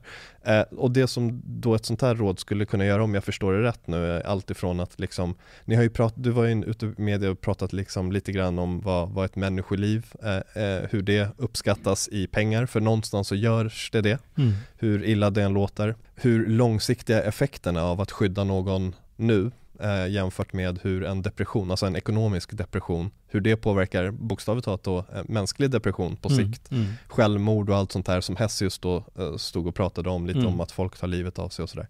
Eh, så göra de kalkylationerna. Mm. Norge har ju gjort det, de tillsatte ju snabbt ett sånt råd. Eh, som då fick två veckor på sig att skriva en rapport, vilket de också gjorde.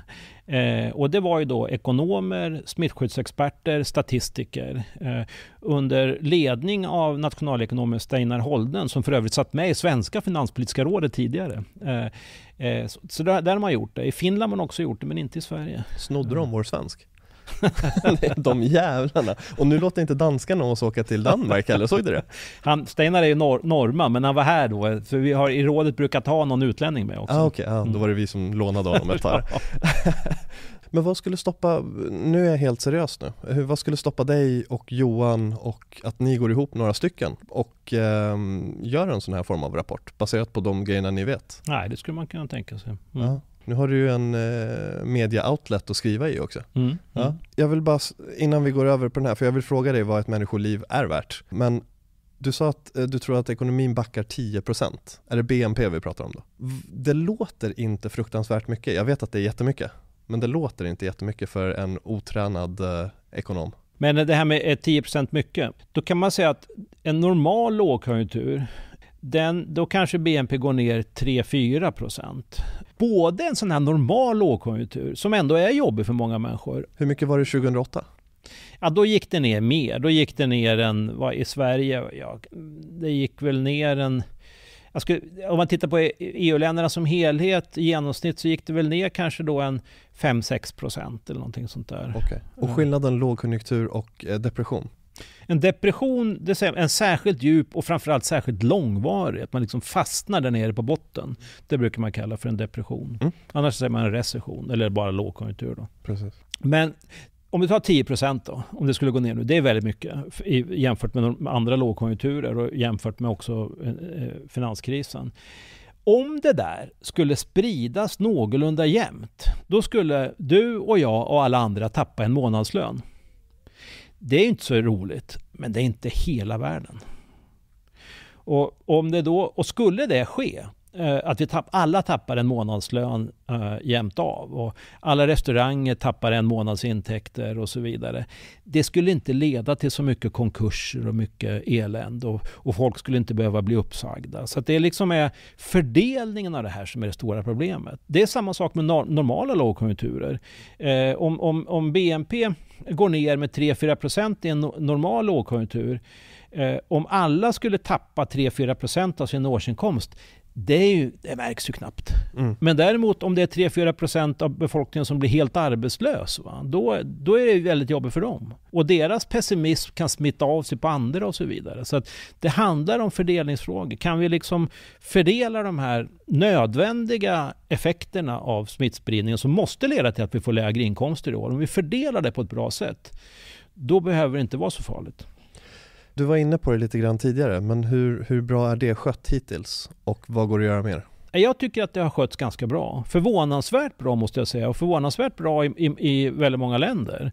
Eh, och man har insett att nu behöver liksom tilltron till att marknaden ska lösa det här, den, den, den, den, ja, den var överdriven. Det här måste man gå in med, med, med statliga resurser. Eh, och det har man fattat överallt och det, det är bra. Eh, sen är, har jag lite randanmärkningar. Eh, jag tycker att reglerna i de svenska stödprogrammen borde vara tydligare. Eh, det är väldigt bra för att då vet företag vad som gäller. Även om det liksom ännu inte har beslutats om, om man ska få något stöd. Om reglerna är väldigt tydliga, då vet man att jag kommer att få. Eh, Tydliga regler gör det också mycket lättare att straffa de som missbrukar systemet. För då kan man säga att det här är uppenbart vad som, vad som gäller. Du har brutit mot det här, du får en hög straff. Så kan man ha höga straff för det där. Minskar man missbruk. Eh, så det är en grej, att det har varit lite otydligt. Eh, den andra kritiken är att man borde tala om att det här kommer att gälla så länge det behövs. Givet att det inte håller på liksom ett år eller mer. För då, då måste vi tänka på ett annat sätt de pengarna som vi tar nu, som du säger att vi hade överskott eh, och pengarna som vi hade i ladan då, eh, vart kommer de ifrån? Är det sparade pengar eller är det lån som vi tar och vad innebär de här? Nej, alltså vi har inte pengar i ladorna som vi kan använda för det här. Den offentliga sektorn, alltså stat och kommun och alltihopa tillsammans, har skulder på ungefär 35 procent av BNP är ju inte jättemycket egentligen. Det är tre, tre liksom månaders inkomster. Så jämfört med liksom vad, vad, vad, många privatpersoner har, så är jag har ju flera gånger min årslön i, i skuld. Och det är ju väldigt många som har hus och, och, lägenheter som har det. Så det är inte jättemycket. Sen ska man komma ihåg att de här 35 procenten i skuld, de är ju för sig eh, eh, balanserad av att staten har ju tillgångar också. Staten äger ju äger aktier i SAS, de äger aktier i andra företag och så vidare. Så summan av kardemumman är att faktiskt eh, de, de eh, finansiella tillgångarna av, hos staten är större än skulderna. Så att man, staten ligger på plus. Men det är ju ingen bra idé att just nu när börsen har gått ner så mycket sälja av en massa statliga företag. Eh, utan då är det, och det skulle inte riktigt, ja det kanske skulle räcka i bästa fall då. Men, men eh, man får ju väldigt dåligt betalt för det där nu så det, och det skulle ju kunna leda till att börsen faller ännu mer. Så att det enda rimliga i det här läget det är att låna upp och svenska folket via försäkringsbolag och pensionsfonder och så vidare är fullt villiga att låna, upp, låna ut det som behövs till staten. Vad innebär det rent konkret? Alltså jag vet ju när jag går till SEB och lånar pengar, ja. det fattar jag. Mm. Vad är det här? Då staten lånar pengar av? Ja, men det är chefen för Riksgäldskontoret, Hans Lindblad. Han, han går ut och säger att jag skulle vilja låna 100 miljarder här. Och så frågar han helt enkelt försäkringsbolag och andra. Och, typ och, Skandia? Ja, och, och pensionsfonderna och alltihopa sånt där.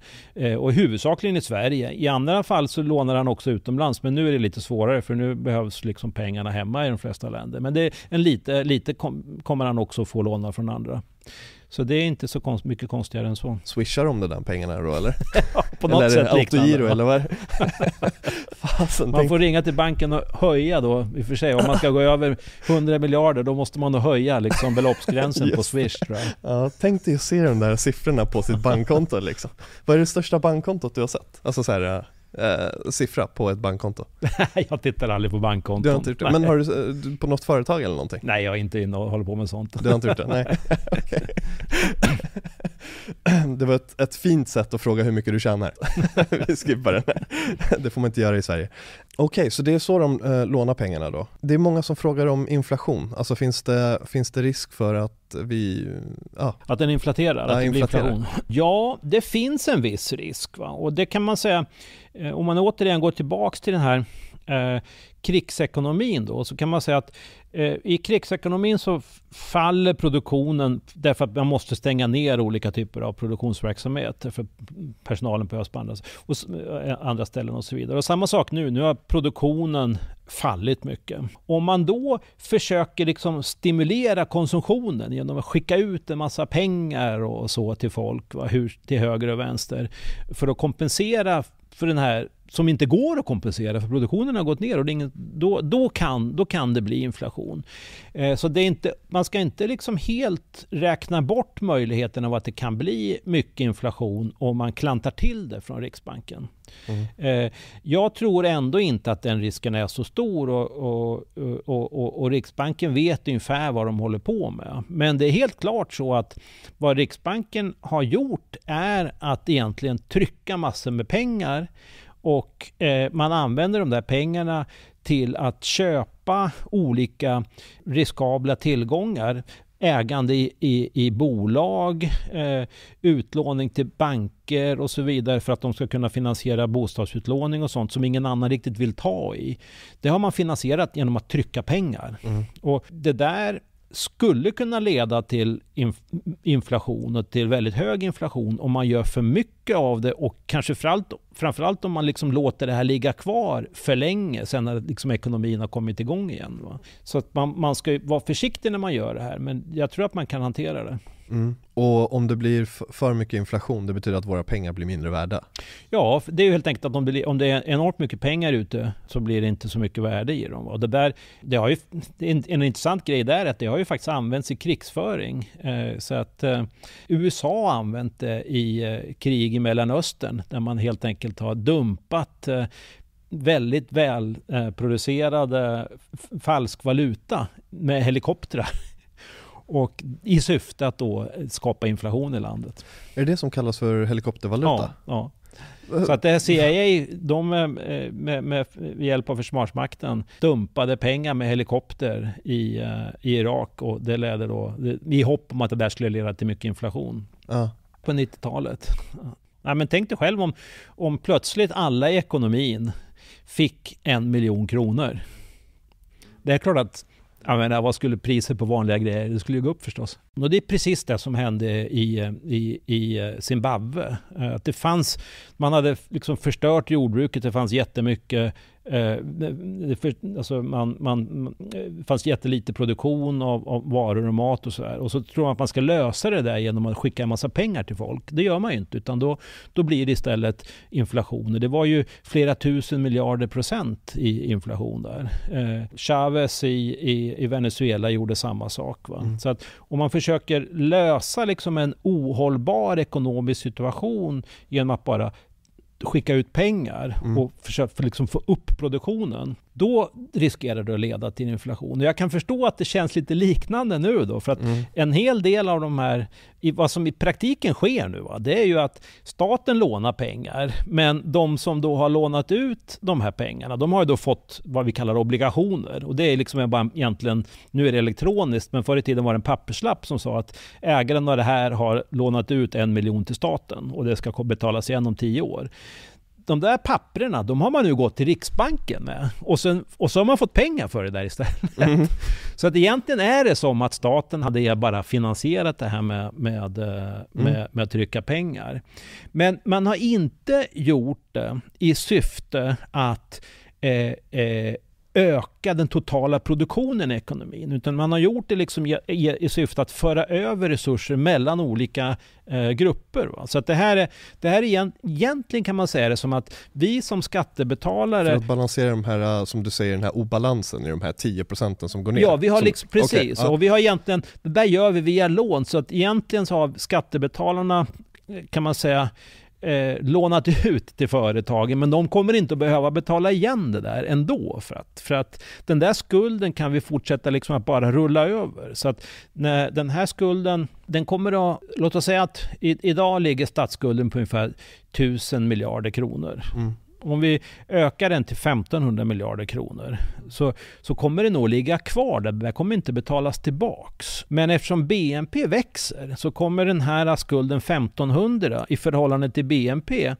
att bli mindre och mindre hela tiden när BNP växer. Mm. Och om, om, om BNP-tillväxten kommer tillbaks till det var ungefär som tidigare, mm. då kommer vi vara tillbaks på 35 statsskuld mm. i förhållande till BNP som vi var innan krisen efter en, säg 11-12 år. Eh, så att, Men det gäller att BNP fortsätter växa, att ekonomin att, fortsätter växa ja. och att inte den där skulden ökas. Ja, precis. Ja. Och då har, vi, då har vi det här liksom Finanspolitiska rådet som kollar att regeringen håller sig, att man inte lånar mer sen när ekonomin går hyfsat bra, utan att då ligger man kvar på det där. Eh, att inte och, Magdalena Andersson kör en Anders Borg då? Ja, en liten fuling? Ja, ja. Och, men om man gör det en gång gör det inte så mycket, men om man liksom håller på med hela tiden. Som Frankrike, de har liksom inte haft, de har haft underskott varje år sedan 70-talet. Va? Ja. Och då, det går inget bra. Det var en intressant grej du sa, de här 10 procenten som man, alltså de här lånen som man då tar för att balansera ut för den här obalansen i ja. Eh, den här månadslönen som du säger, som försvinner för alla men det är inte balanserat. Nej. Så när man delar ut de här pengarna till de som håller på att gå i konkurs, så att de ska klara sig, är det då i förlängningen de som det inte har gått så dåligt för som betalar den kostnaden egentligen? Ja, det får man nog säga. Alltså att det där, eh, men men det är ändå ganska, det är ändå ganska, det blir inte, egentligen så blir det inte någon större liksom förlust för, för sådana som, eh, eh, som då lånar ut de här pengarna. För att vad som kommer att ske är att om du tar, jag är som är pensionssparare, så jag kommer att vara med och låna ut det där. Då. När jag sen blir pensionär, då får jag tillbaks pengarna. Och liksom, så det betalas tillbaks till mig en del. Men, och staten tar upp ett nytt lån av de som då jobbar. Så man liksom rullar över den här skulden. Eh, så att den fortsätter att ligga kvar på de här, det här nya beloppet hela tiden. Så det blir liksom som ett litet kedjebrev. Eh, så att det liksom blir i slutändan inte någon större förlust för någon. För man rullar bara fram det här. Och det här funkar Så länge som inte räntorna drar iväg och blir högre än tillväxttakten i BNP, då funkar det här eh, kedjebrevet. Men på kort sikt så är det en, en omfördelning.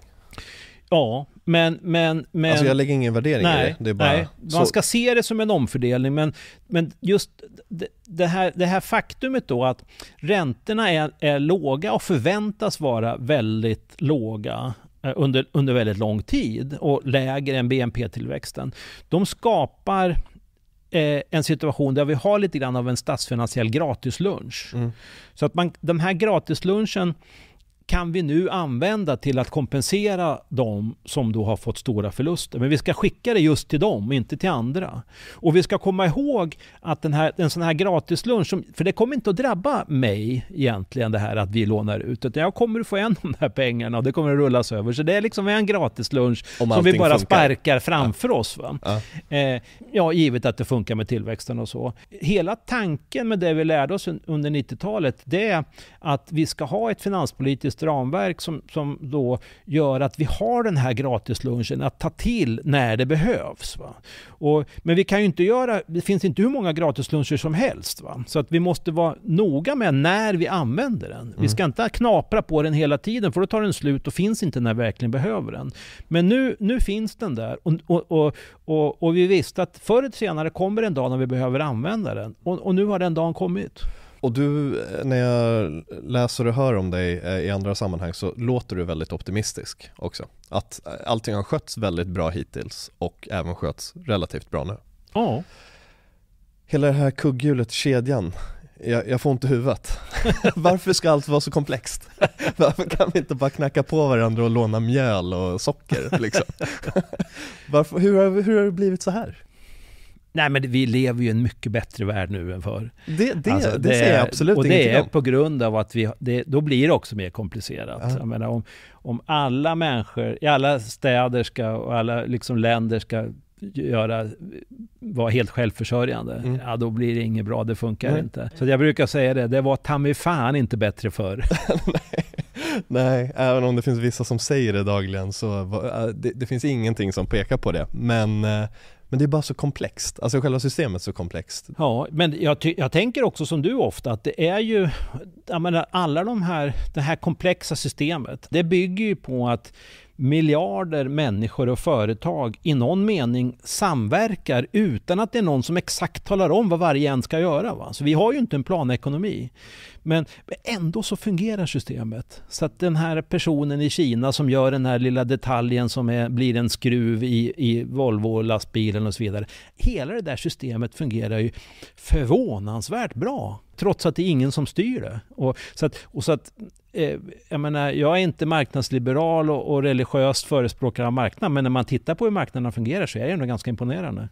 Men det finns ju många liberaler och speciellt libertarianer som ifrågasätter att det här inte kommer funka i längden.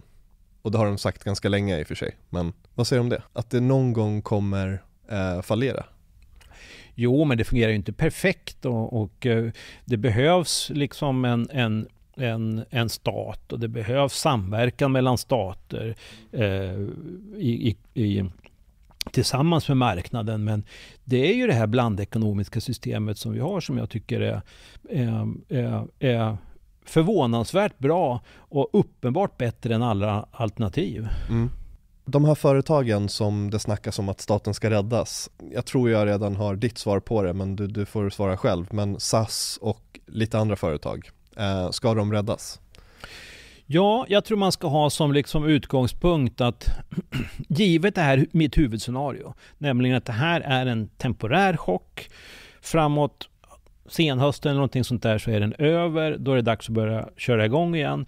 Då ska ambitionen vara att så mycket som möjligt ska vara så lika som möjligt som det var Eh, innan, innan, krisen, innan semestern. Så att det, vi ska kunna tänka på att det här var en semester, nu är det dags att köra igång igen och börja jobba. Så, så, så mycket ska finnas kvar som möjligt. Men vi ska inte heller tänka oss att vi ska Eh, liksom göra om Sverige på något sätt. Va? Utan det ska, det ska vara, och, men då, in, då ingår det att vi ska, vi, ska, vi ska rädda så många företag som möjligt helt enkelt. Och vi ska inte tänka oss att om det inte nu var bra att staten ägde massor med företag innan krisen, då är det inte bra att staten äger massor med företag efter krisen heller. Jag gillar den där liknelsen med semestern, den får mig att känna mig lugn.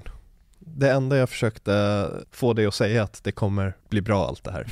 Det är ju det jag vill höra, det är fredag, jag vill Ja. gå hem och kä- känna mig bra. Ja. Nej men det, alltså, det, är ju, det är ju mycket som behöver trilla på plats, det är det. Och, och det, liksom det här bygger ändå på att, att det inte Eh, de här mm, värsta scenarierna med smittspridning att infinner sig, där det visar sig att det, så fort vi öppnar upp igen så blir det ny smittspridning och en eh, andra och en tredje och en fjärde och en femte våg. va. Så vi helt enkelt måste bygga om samhället väldigt mycket. Då funkar ju inte den här medicinen som jag har föreslagit, utan då, då, måste vi, då, måste, då måste vi bygga om samhället och det är jobbigt och tar tid. Är det din största oro?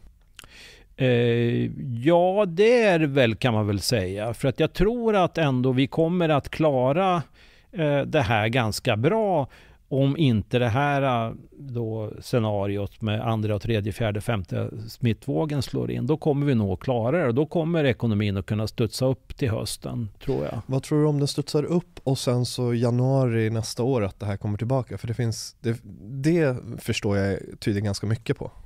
Om det här fungerar lite som influensaviruset då. För vi har inte hunnit få vaccin då. Vad händer då tror du? Ja, nej, då, då får man eh, Köra en ny semester? Ja, ja. Men då får man ju återigen göra den, liksom, då får man ju, håller, blir det för många gånger så va, då kanske man ändå kommer till slutsatsen att då, är, då handlar det mer om att liksom bygga om samhället. Då måste vi ha social distansering kanske permanent. Då kommer inte flygindustrin att komma tillbaks. Turistandet kommer inte komma tillbaks. Eh, vi kommer inte ha stora restauranger och stora arena-event och sånt där. Då, då, får vi, då, är det, då är det människor som håller på med det där som måste göra någonting annat. Och, eh, Sverige kommer ju inte vara hårdast drabbas av det, utan det är ju snarare länder där turistindustrin är stor. Va? Och, och hur det där kommer att se ut i ett sånt då scenario, det, det, vet ju inte jag än. Va? Men, men jag, jag menar nog att det där inte är det mest sannolika och eh, eh skulle det inträffa, då får vi ta det när det kommer. Finns det något positivt i en lågkonjunktur? Så det finns en gammal tanke om att lågkonjunkturer är eh, reningsbad som sorterar ut de dåliga företagen. Och i, I goda tider så kan de dåliga företagen, som egentligen inte borde få överleva, de kan också överleva. Det en, finns en lång forskningstradition som försöker undersöka det där. Och jag skulle nog ändå säga att de flesta menar att det där stämmer nog inte riktigt. Och den forskning som jag har sett som, som tittar på vad som hände under finanskrisen 2008-2009, den pekar väl på att krisen slog väldigt liksom brett. Det var både dåliga företag och bra företag som slogs ut. Eh, så att min, eh, min, min grunduppfattning är väl liksom att nödvändig strukturomvandling där dåliga företag slås ut och ersätts med nya bra, va? den sker bättre i ordnade former än liksom med, med sån här chockterapi med reningsbad. Va? Jag tycker nog inte inte att man sett från renodlat ekonomisk synvinkel kan säga att eh, lågkonjunkturer är bra. Sen är det så att Sverige är lite speciellt att politikerna eh, håller på och tjafsar och är väldigt kortsiktiga och sådär eh, i normala tider. Men de brukar samla sig och bli lite när det blir kris. Va? Och, och, så, så att kanske den, politiken kanske fungerar lite bättre när det är kris. Eh, och det är väl och det såg man tydligt under 90-talskrisen där det blev tydligt då att Sverige behövde en, en complete makeover. Men det var ju för att vi inte hade liksom skött oss under lång tid. Vi hade liksom inte sett till att dåliga företag försvann. Vi hade inte hanterat en massa politiska problem, att pensionssystemet var ruttet, skattesystemet var ruttet och allt möjligt. Det hade vi inte brytt oss om.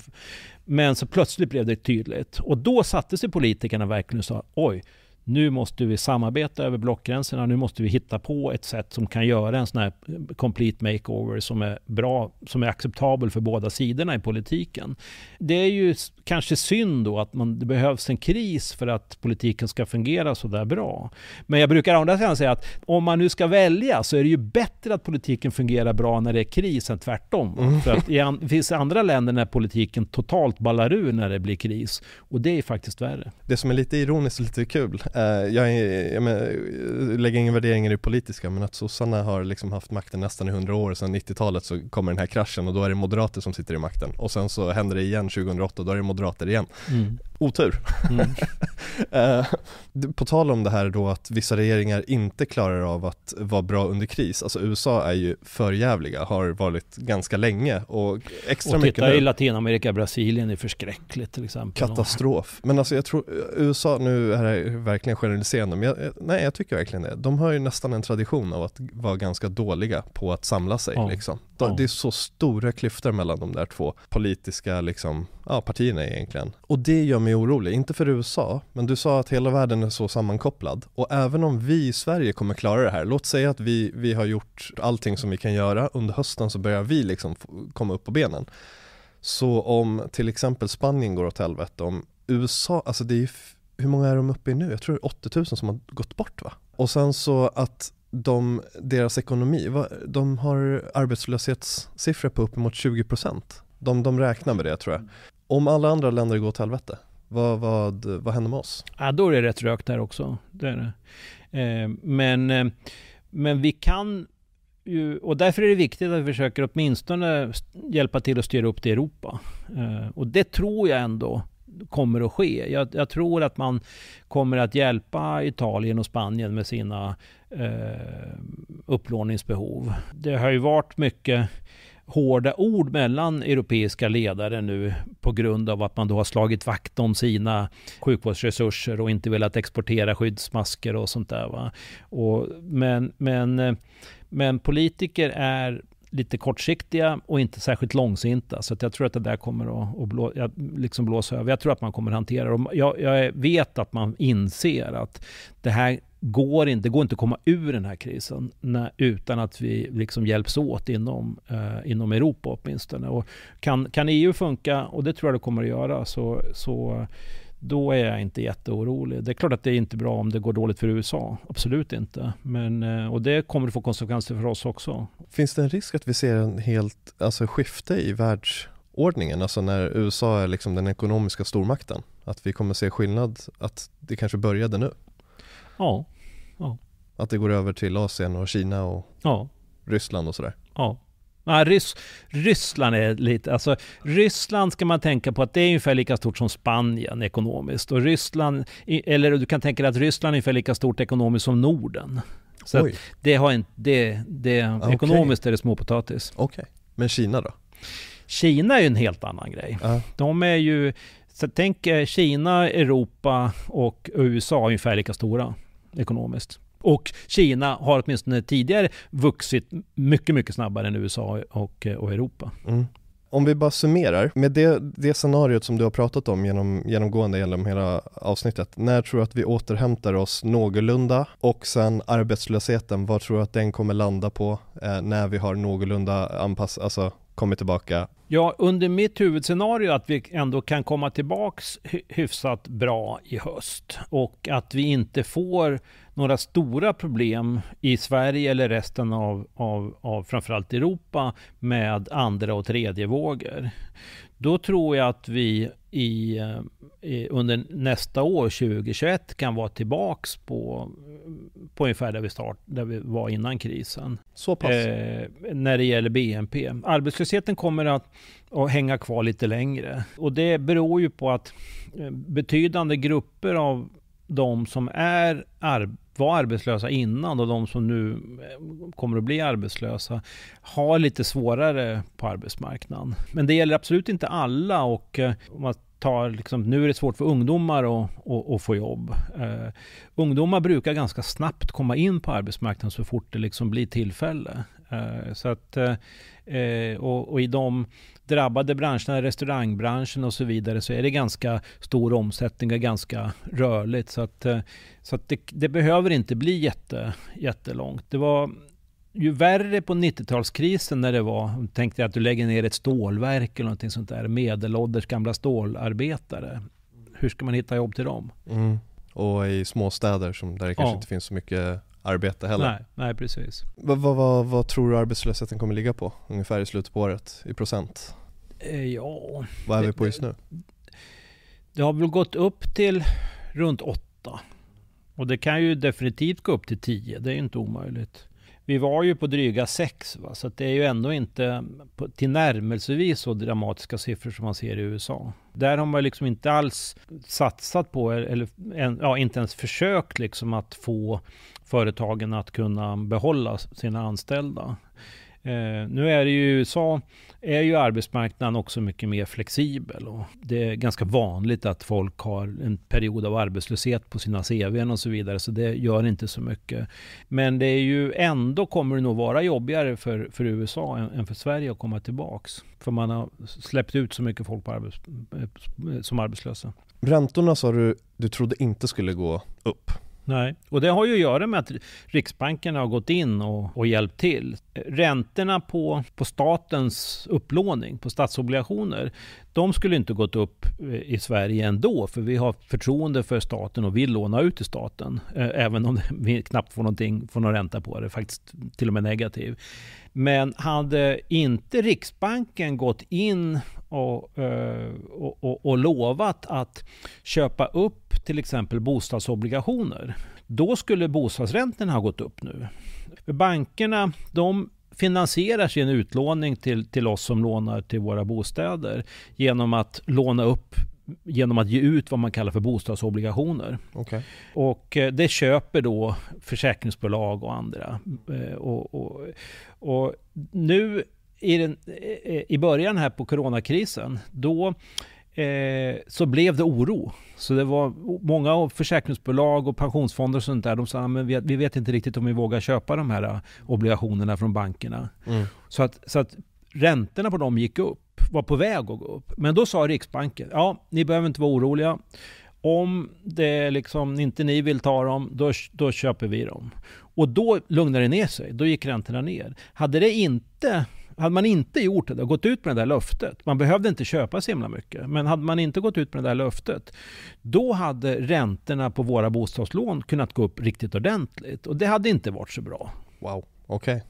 Men just under den här krisen tror du att det kommer vara möjligt att vara ganska stabil från Riksbanken? Ja, givet att Riksbanken, de vet nu hur man ska agera. Och jag har varit rätt så kritisk mot Stefan Ingves och tycker egentligen inte att han är världens bästa riksbankschef i normala tider. Men han är expert på kriser. okay. Så, att för det, så att det, det nu är det nog bra att han sitter där. Han och Ben Bernanke? Ja, Ben, ben, kom in som forskare på det. Eh, så att han visste liksom från ett akademiskt perspektiv vad som är rätt att göra. Mm. Stefan Ingves, han kan det därför att han har varit hands-on. Han har hållit på med kriser på IMF och var involverad i 90-talskrisen och, och finanskrisen och så vidare. Så han har jobbat med det där, inte bara i Sverige utan i andra länder också. Så han vet precis vad man ska göra, hur man ska ratta saker och ting. Okay. Så det är lite som företagande, vissa ska bygga upp och vissa ska, vissa ska förvalta? Mm. Men det är som Churchill, han var ju bra under kriget, men sen gick det inte så bra för honom, vare sig innan eller efter. Börsen, som sagt, någorlunda återhämtar sig och går upp och ner och sådär, men det, det, det, går, det trendar uppåt i alla fall. Bostadspriserna är fortsatt höga. Vad tror du om bostadsmarknaden? Ja, det skulle väl förvåna mig om inte bostadspriserna går ner lite grann. Jag såg någon rapport på 15%, men kan det stämma? Alltså? Alltså det beror, allt det där, både bostadspriserna och börskurserna, beror ju på eh, liksom vad som händer med de här fundamentala sakerna som jag pratade om tidigare. Blir det, börjar vi bli oroliga för andra våg, tredje våg? Eh, visar det sig att det kommer, vara, det kommer inte att funka det här med vaccin och det kommer inga antivirusmedicin. Då, då, då måste vi ju börja tänka om när det gäller hur ekonomin ska se ut och det får ju konsekvenser för ekonomisk tillväxt och då också förstås för börskurser och huspriser. Det är svårt att veta. Eh, men det är inte huvudscenariot, det tycker jag inte. Men då har vi ju mycket större problem än bostadspriserna. Alltså om, om det fortsätter ja. och vaccin inte skulle funka och sådär. Men just nu i ditt scenario, om det skulle funka, så tror jag att det går ner lite grann. Ja, ja. Sen är ju huspriserna är mycket liksom långsammare rörelser. I aktiepriserna, de, det räcker med liksom att det kommer någon liten ny informationsbit om ett vaccin eller ett vaccin som inte funkar så påverkar det börsen. Mm. Men, och så är det inte med huspriserna. Men det egentligen är det samma fundamentala grejer som driver det. Mm. Folk som sitter med aktier och fonder då? Vad skulle du gjort? Alltså för egen del så, så gjorde jag inget. Jag har inte jätte, jag har, jag har kanske eh, aktier för säg tre månadslöner eller någonting sånt där. Och så tänkte jag, shit att jag inte sålde. Men sen så Tre tänkte, miljoner alltså? Eh, men eh, eh, säg att jag, min, min lön på universitetet är 80 000 i månaden. Eftersom du vill veta. Eh, jag gav några pikar. Så det är ganska bra, ganska bra betalt tycker ja, jag. Faktiskt. Eh, men i varje fall, så tänkte jag, skulle jag, vad shit att jag inte sålde, man borde kunna fatta det här. Men samtidigt så tänker jag så här att, ja men, jag har bara indexfonder. Någon ska ju äga det här, det kan väl jag göra jag kan vara med ägare, jag kan ta min fair share av liksom ägare här. Jag, jag tycker inte man, när man är liksom ändå ganska långsiktigt i marknaden. Jag, det finns ju de som är daytraders och vill spekulera, så det är inte jag. Mm. Jag vill ha en del av ekonomin, äga lite grann. Eh, och, och då, då, då sitter jag kvar och jag tycker inte man ska fundera så jättemycket på det där. Men det är klart att är det något, sitter man väldigt tajt till och sådär och gillar att spekulera, då får man väl följa börsen och tro att man ska kunna sälja på rätt, vid rätt tidpunkt och köpa vid rätt. Men jag tror inte det för egen del i varje fall. Jag tror, jag tror mitt, min, min strategi är nog den rätta för de allra flesta. Ädelt av dig också att sitta i det där, tycker jag. Och snyggt. Och sen så måste du spara en hel del mental energi. Mm. Ja, och det är liksom, vi sitter på något sätt, det är väl rimligt att folk som tjänar bra som jag är med och tar en del av smällarna. Då sitter jag kvar med de här. Snyggt. Miljön då, för att runda av det här med eh, egentligen ditt kärnämne eh, sen ett, mm. ett bra tag tillbaka, miljöekonomi. Du har ju jobbat en hel del med det och alltifrån skrivit rapport. Det var någon rapport du släppte i januari senast. Mm. Det var precis innan allting bröt ut som kanske, jag vet inte om det behöver revideras eller inte. Jag har inte läst den för jag skulle inte förstå den ens heller. Ja, det tror jag. Den är skriven så att den ska kunna förstås av, är det så? av alla. Ja. men då ska jag göra det. För jag, jag, för, jag förberedde det innan vi, vi satte oss här mm. och sa att eh, när du kommer hit, tänk på att det är en idiot du pratar med. Så att, det tycker jag inte. Exakt, så det är därför jag gillar att vi pratar om lader och semestrar och massa sådana saker, så det förstår jag. Men då ska jag gå in och läsa rapporten. Men eh, miljön då? Eh, det finns många som säger att nu finns det en chans att eh, införa riktigt bra miljöpolitik när ändå allting ligger nere. Jag tror att det är fel, feltänkt. Jag, som sagt så tror jag att det här eh, krisen ska ses som en, en, en temporär eh, nedgång i produktionen som, eh, som kan liknas vid en, en semester och där vi ska sikta på att med vettig politik eh, se till att ekonomin är så lik som möjligt så som det var innan när krisen är slut. Och, och, och Eh, och då ska vi inte, att staten nu ska liksom välja ut vilka företag som ska få överleva och, eh, och att tänka att vi ska liksom, de som inte är långsiktigt hållbara eller inte uppfyller vissa miljökriterier och så vidare, de ska få gå under och andra ska vi satsa på. Det, det, det sägs ibland att man då skulle kunna slå två flugor i en smäll. Jag tror inte att man träffar någon då. Då kommer lågkonjunkturen att bli djup och lång och riskerar att bli en depression istället. Och vi kommer heller inte att lösa klimatfrågorna. För att en förutsättning tror jag för att folk ska acceptera eh, den omställning av ekonomin som behövs på sikt, för att vi ska kunna klara klimathotet, det är att ekonomin går hyfsat bra. Eh, så att jag, en, en, en, om man tänker på Europanivå så är den, det stora avgörande klimatproblemet det är att hur ska vi bli av med kolkraften? Det är det helt avgörande. Eh, och vissa länder som till exempel Polen har fortfarande mycket kolkraft. Det finns 100 000 eh, som jobbar i, pol, i kolgruvor i Polen. Och jag tror ju inte att just nu är en särskilt bra tid att göra alla de här arbetslösa. 100 000 människor? Ja, då, det var 500 000. Men de, så de kommer, då kommer de att sparka bakut. Va? Och ifall vi nu tvingar fram en massa omställning under krisen och liksom säger att vissa vill vi inte rädda för de gillar vi inte.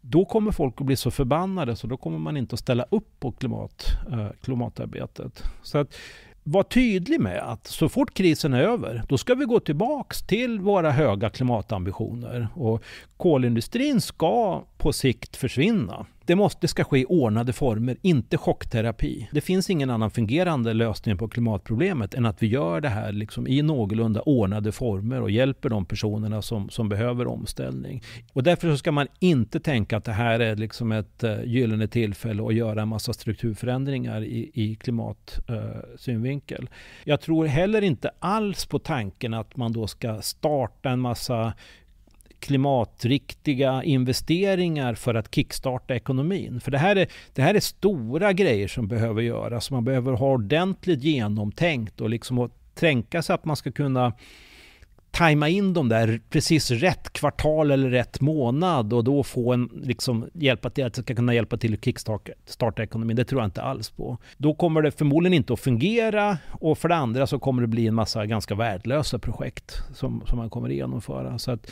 men ta en sån sak som, jag menar, det har snackats om elektrifiering av vägar och sånt där. Va? Eh, för det första så vet vi ju inte om det är rätt väg. Är det istället, det kanske, det kanske Eh, vi kanske ska ha vätgasdrivna bilar och inte elektriska vägar och sånt där. Va? Och, och för övrigt, liksom, det kan man ju inte dra igång en sån där grej Eh, på någon, några månader. Det går inte. Utan det här är ju väldigt långsiktiga grejer som man behöver tänka igenom och göra gemensamt med EU. Om, om vi kör med batteribilar i, i Sverige men resten kör med vätgasbilar, det kommer ju inte funka. Så det där ska göras i ordnade former, gemensamt i Europa och med eftertanke och, och sakta men säkert. Skulle du säga att det är konsensus eh, hos ekonomer som du har pratat med i alla fall, läst och följt och sådär. Eh, för, för någon som mig som, som inte har koll på de här, när du säger då att det är 100 000 människor i Polen som jobbar med kolkraft, alltså det, och du säger att det var en halv miljon för bara ett tag sedan. Eh, då förstår jag ju vilken jäkla maskineri man, man ska försöka fixa till. Eh, men jag blir ju attraherad av tanken av att okej, okay, nu är det läge att göra satsningar på miljön nu när ändå allting ligger nere och allt eh, liksom sådär. Men känner du att det är konsensus, de här åsikterna som du har bland ekonomer? Eller har du inte, kanske är för kort tid?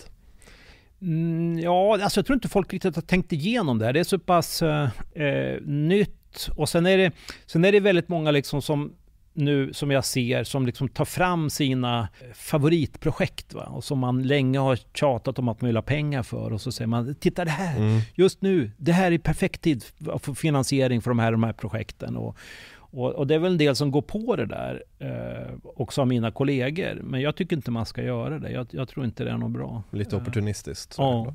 Men en, en, kritiker då skulle säga så här, för bara fyra fem månader sedan så hade vi då den här högkonjunkturen, eller vi hade en väldigt bra ekonomi som hade gått väldigt bra. Och mm. nu har vi helt plötsligt 500 miljarder att lägga ut på fem månader. Det har vi råd med tycker vi. Eh, men det var inte värt att göra för miljön Eh, Eh, men det är värt att göra för någonting sånt här. Någon som skulle utmana dig då i det här skulle säga att eh, eh, miljön är väl minst lika utmanande fast på lite längre sikt. Varför inte göra en sån chockstart nästa gång vi har läge?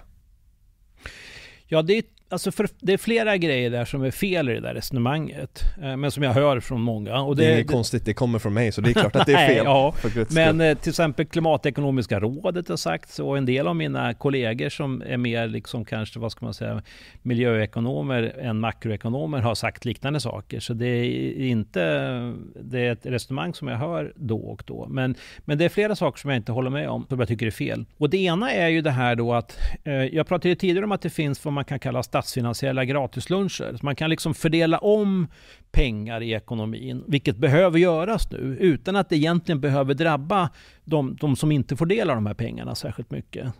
Eh, eh, och det är, är ju då Eh, men det är för att man gör, liksom, kan man egentligen säga som bokföringsförändringar. Man för över resurser. Så det liksom är, I bokföring så pratar man om, om eh, kostnader och utgifter. Och det här liksom är utgifter, men det är egentligen inte kostnader, det är inte resursåtgång. Ska vi bygga en, en järnväg till exempel, då, måste ju, då, då räcker det inte med att flytta om lite pengar inom budget, utan då måste ju faktiskt det komma dit några gubbar som bygger den här. Och de, måste, de skulle kunna ha gjort någonting annat och det, maskiner ska användas som skulle kunna användas till någonting annat. Och då, de resurserna kan man liksom inte bara få genom ett penndrag. Eh, så, att, så jag brukar säga det att vad vi nu, spendi, vad vi nu, använder, vad vi nu gör, det är att vi har väldigt stora utgifter för staten. Men de där utgifterna är egentligen inte resursåtgång. Det är inte någon som liksom måste göra någonting annat, jobba med någonting annat för att det här ska ske. Och en, en del av de projekt som har föreslagits, till exempel snabbtågen, eh, de ger väldigt lite klimatnytta. De ger väldigt lite tillbaks. Va? Så, mm. att, eh, så att det är lite grann nästan som att be folk, eh, om, överdriver jag lite om man får hårdra det. Det är som liksom att be folk gräva ett, ett, ett hål i marken och sen fylla igen det. Man får ingenting tillbaks. Och, men då har man slösat bort realekonomiska resurser. Arbetskraft har använts till någonting som inte ger någon, någon, någon, någon avkastning för samhället. Och det ska vi inte göra. Eh, och, och, just nu så finns det ganska liksom, är det snar, även fast det är massa arbetslösa så, så, så, är det snarare så att det finns att det är liksom resursbrist. Va? Och då måste vi tänka ännu mer vad vi använder resurserna till. Skulle det visa sig att vi måste liksom, en hel del av de som nu inte har någonting att göra därför att de har jobbat i restauranger och i transportsektorn och så vidare. Som, skulle det visa sig att de där inte kan komma tillbaks dit, då måste vi fundera på vad de ska göra istället. Och då, då ska vi säkert tänka på, de kanske ska jobba jobba i klimatsmart industri och så vidare. Så det är ett sånt här annat scenario där vi måste ställa om ekonomin och det frigörs en massa realekonomiska resurser därför att de tidigare gjorde någonting som vi inte nu vill ha längre. Ungefär som de i 90-talskrisen som, som eh, gjorde stål som ingen vill efterfråga. De ska göra någonting annat nu. Är vi i en sån situation, då ska vi ju tänka på att använda de här till något smart, klimatsmart, absolut. Men, men den situationen är vi inte i idag. Så att de här 500 miljarderna Eh, det är utgifter men inte realekonomiska kostnader. Och tar vi de här utgifterna då kan vi vidmakthålla produktionskapaciteten i ekonomin. Och de resurser som då skapas, de kan vi använda till investeringar, gärna klimatsmarta i framtiden. Mm. Det är de här nyanserna som såklart eh, för någon som mig som bara har en klimatoro och vill, vill få till förändringar eh, mm. inte tänker på såklart. Så det är därför det är viktigt att, att, ha sådana som dig och lyssna på dig. Och det här, det här ämnet förtjänar ju såklart ett, i stort sett ett helt avsnitt. Uh, men när saker och ting börjar sätta sig lite längre fram så kanske vi kan ta tag i och göra ett sådant avsnitt helt och hållet. Gärna. Du jobbar, med, jobbar du med Johan, Johan Rockström också en del, eller? tidigare? Alltså jag har skrivit en artikel eh, tillsammans med honom och många andra. Mm. Eh, men jag kan inte säga att vi jobbar tillsammans. Eh, men jag sitter i det institut där han var chef tidigare, eh, eh, Stockholm Resilience Center. Där sitter jag i styrelsen. Okay. Mm. Men nu har han flyttat till Tyskland och jobbar där. Nej, riktigt spännande grejer och det, jag har i alla fall blivit lite lugnare nu när jag har suttit med dig här med ekonomin. Sen så får vi hoppas på att uh, den här flockimmuniteten funkar också för mm. det, det, är ganska viktigt i allt mm, det här. Ja, det är viktigt. den sista frågan som jag är lite nyfiken på som bara är lite obehaglig, men vad är ett människoliv värt?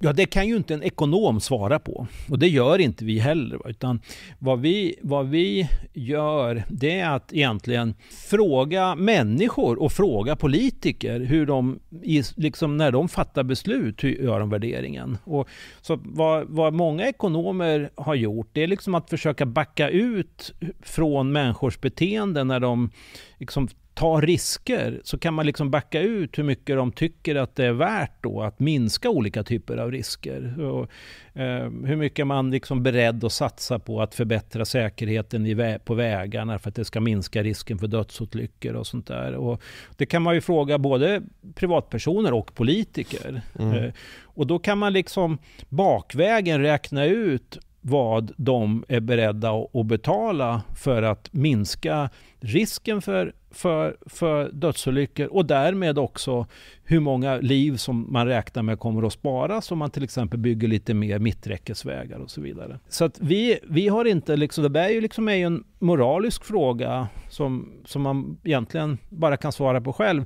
där vi ekonomer inte har någon någon, några bättre kunskaper än någon annan. Men vi har metoder som gör att man kan räkna ut bakvägen hur, hur, hur det verkar som att folk beter sig när det gäller sånt där. Tror du Löfven och Folkhälsomyndigheten och de där sitter och räknar på det nu när de tar beslut för vilka regulationer och rekommendationer de ska göra? Nej, de säger att de inte gör det och det tycker jag är lite dumt för att det borde de göra. Och, eh, i, det är klart inom... de skulle säga det ändå va? Vad sa du? De skulle väl säga det även om de gör det? Jag vet inte. Alltså, om du tittar på Socialstyrelsen så har de ganska tydliga eh, kalkyler för sånt där. Och eh, där räknar man istället då på vad det är värt eh, per sparat livs, levnadsår med god hälsa. Så man pratar om någonting som kallas för quality adjusted life years.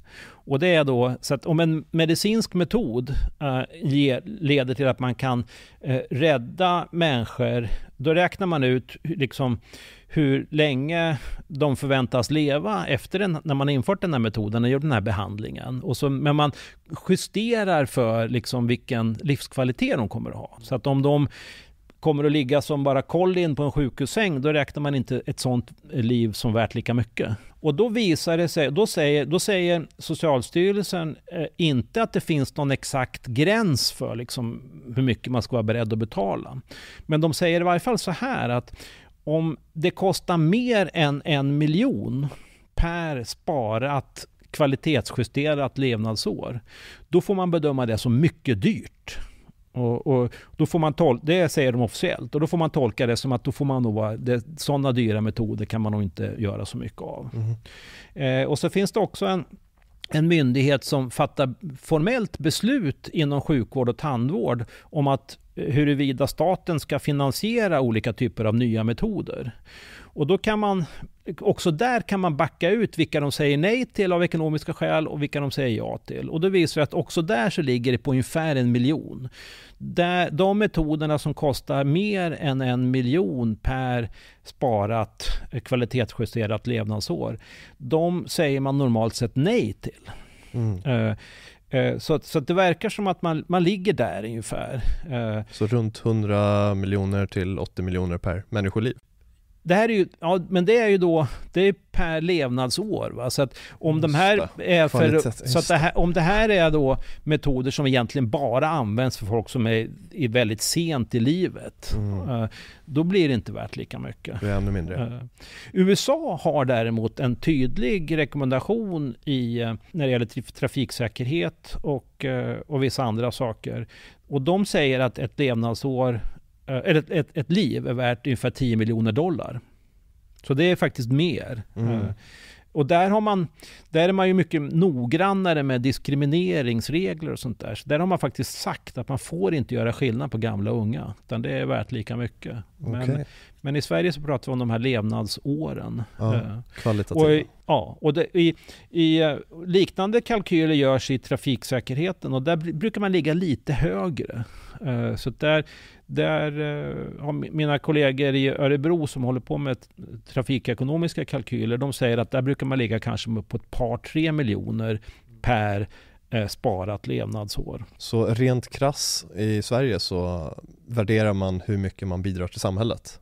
Mer? Nej, nej det, det gör man inte. Utan det här är, det här, alltså den svenska lagstiftningen den säger att viktigast av allt är allas lika människovärde. Och det säger man att det ska man tolka som att när man gör den här typen av kalkyler, om, om man tvingas göra prioriteringar mellan olika patienter och så vidare, då får man inte ta hänsyn till social samhällsställning, eh, om man har gjort bra saker tidigare i livet och så vidare. Det får man inte ta hänsyn till, det är inte tillåtet. Nej, men det utgick jag ifrån, eh, men det är skönt att det står i alla fall. Men jag menar och det, är vik- om... det är viktigare än, det är liksom portalfiguren allra högst. Ja. Sen, sen kommer det längre ner, egentligen allra sist, att sen, sen är det ekonomiska, sist kommer ekonomiska avvägningar in. Ja, men jag menar om det är någon som är 80 år, Mm. Eh, då blir ju inte den personens liv värt lika mycket på grund av att man räknar med att den personen inte har lika många år kvar och kan inte bidra. Alltså i förlängningen Nej, Men sen så blir står det faktiskt också så att det är inte tillåtet att grunda eh, liksom prioritering av vem ska få vård och så vidare bara på biologisk ålder. Det får man inte göra. Utan man måste, man må, så det står liksom att det är ju faktiskt ändå så att en, eh, en 60-åring eller en 80-åring kan ju ha många år kvar, men så kan det vara en, en person som är 20 som har jättemycket eh, sjukdomar och så vidare, så den personen kommer inte leva särskilt länge ändå. Så att de här, man får inte gå på, eh, på bara biologisk ålder. Det är också en väldigt ty det är tydligt uttryckt i lagen, att man får inte gå på biologisk ålder, utan man ska, det som Socialstyrelsen har sagt nu i samband med coronakrisen, det är att man ska gå på, eh, eller man, man, får inte gå på kronologisk ålder, alltså, mm, mm. men man får gå på biologisk ålder.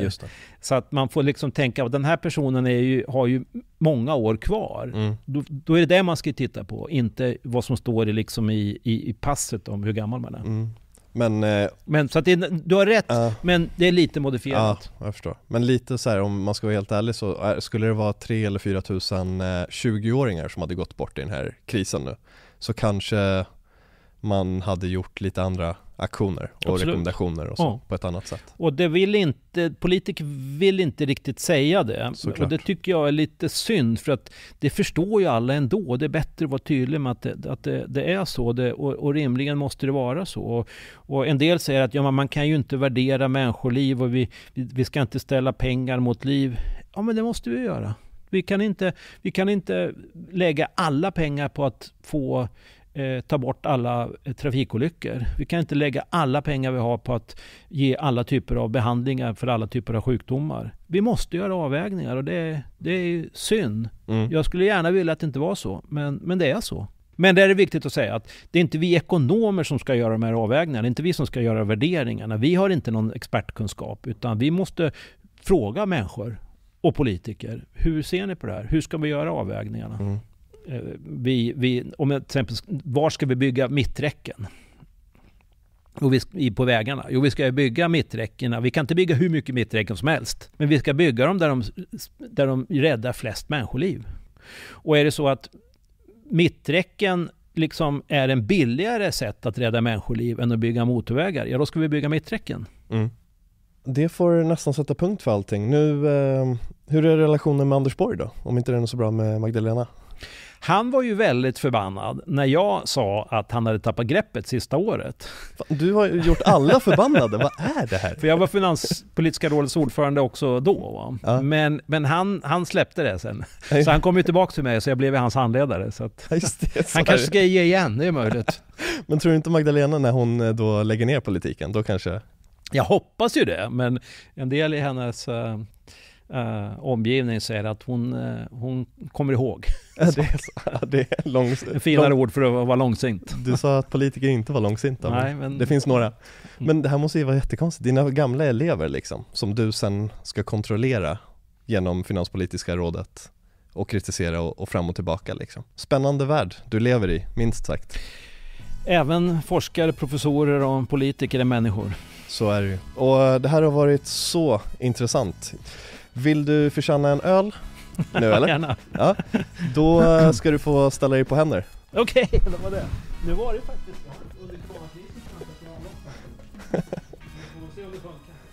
Kan du göra det i kameran här?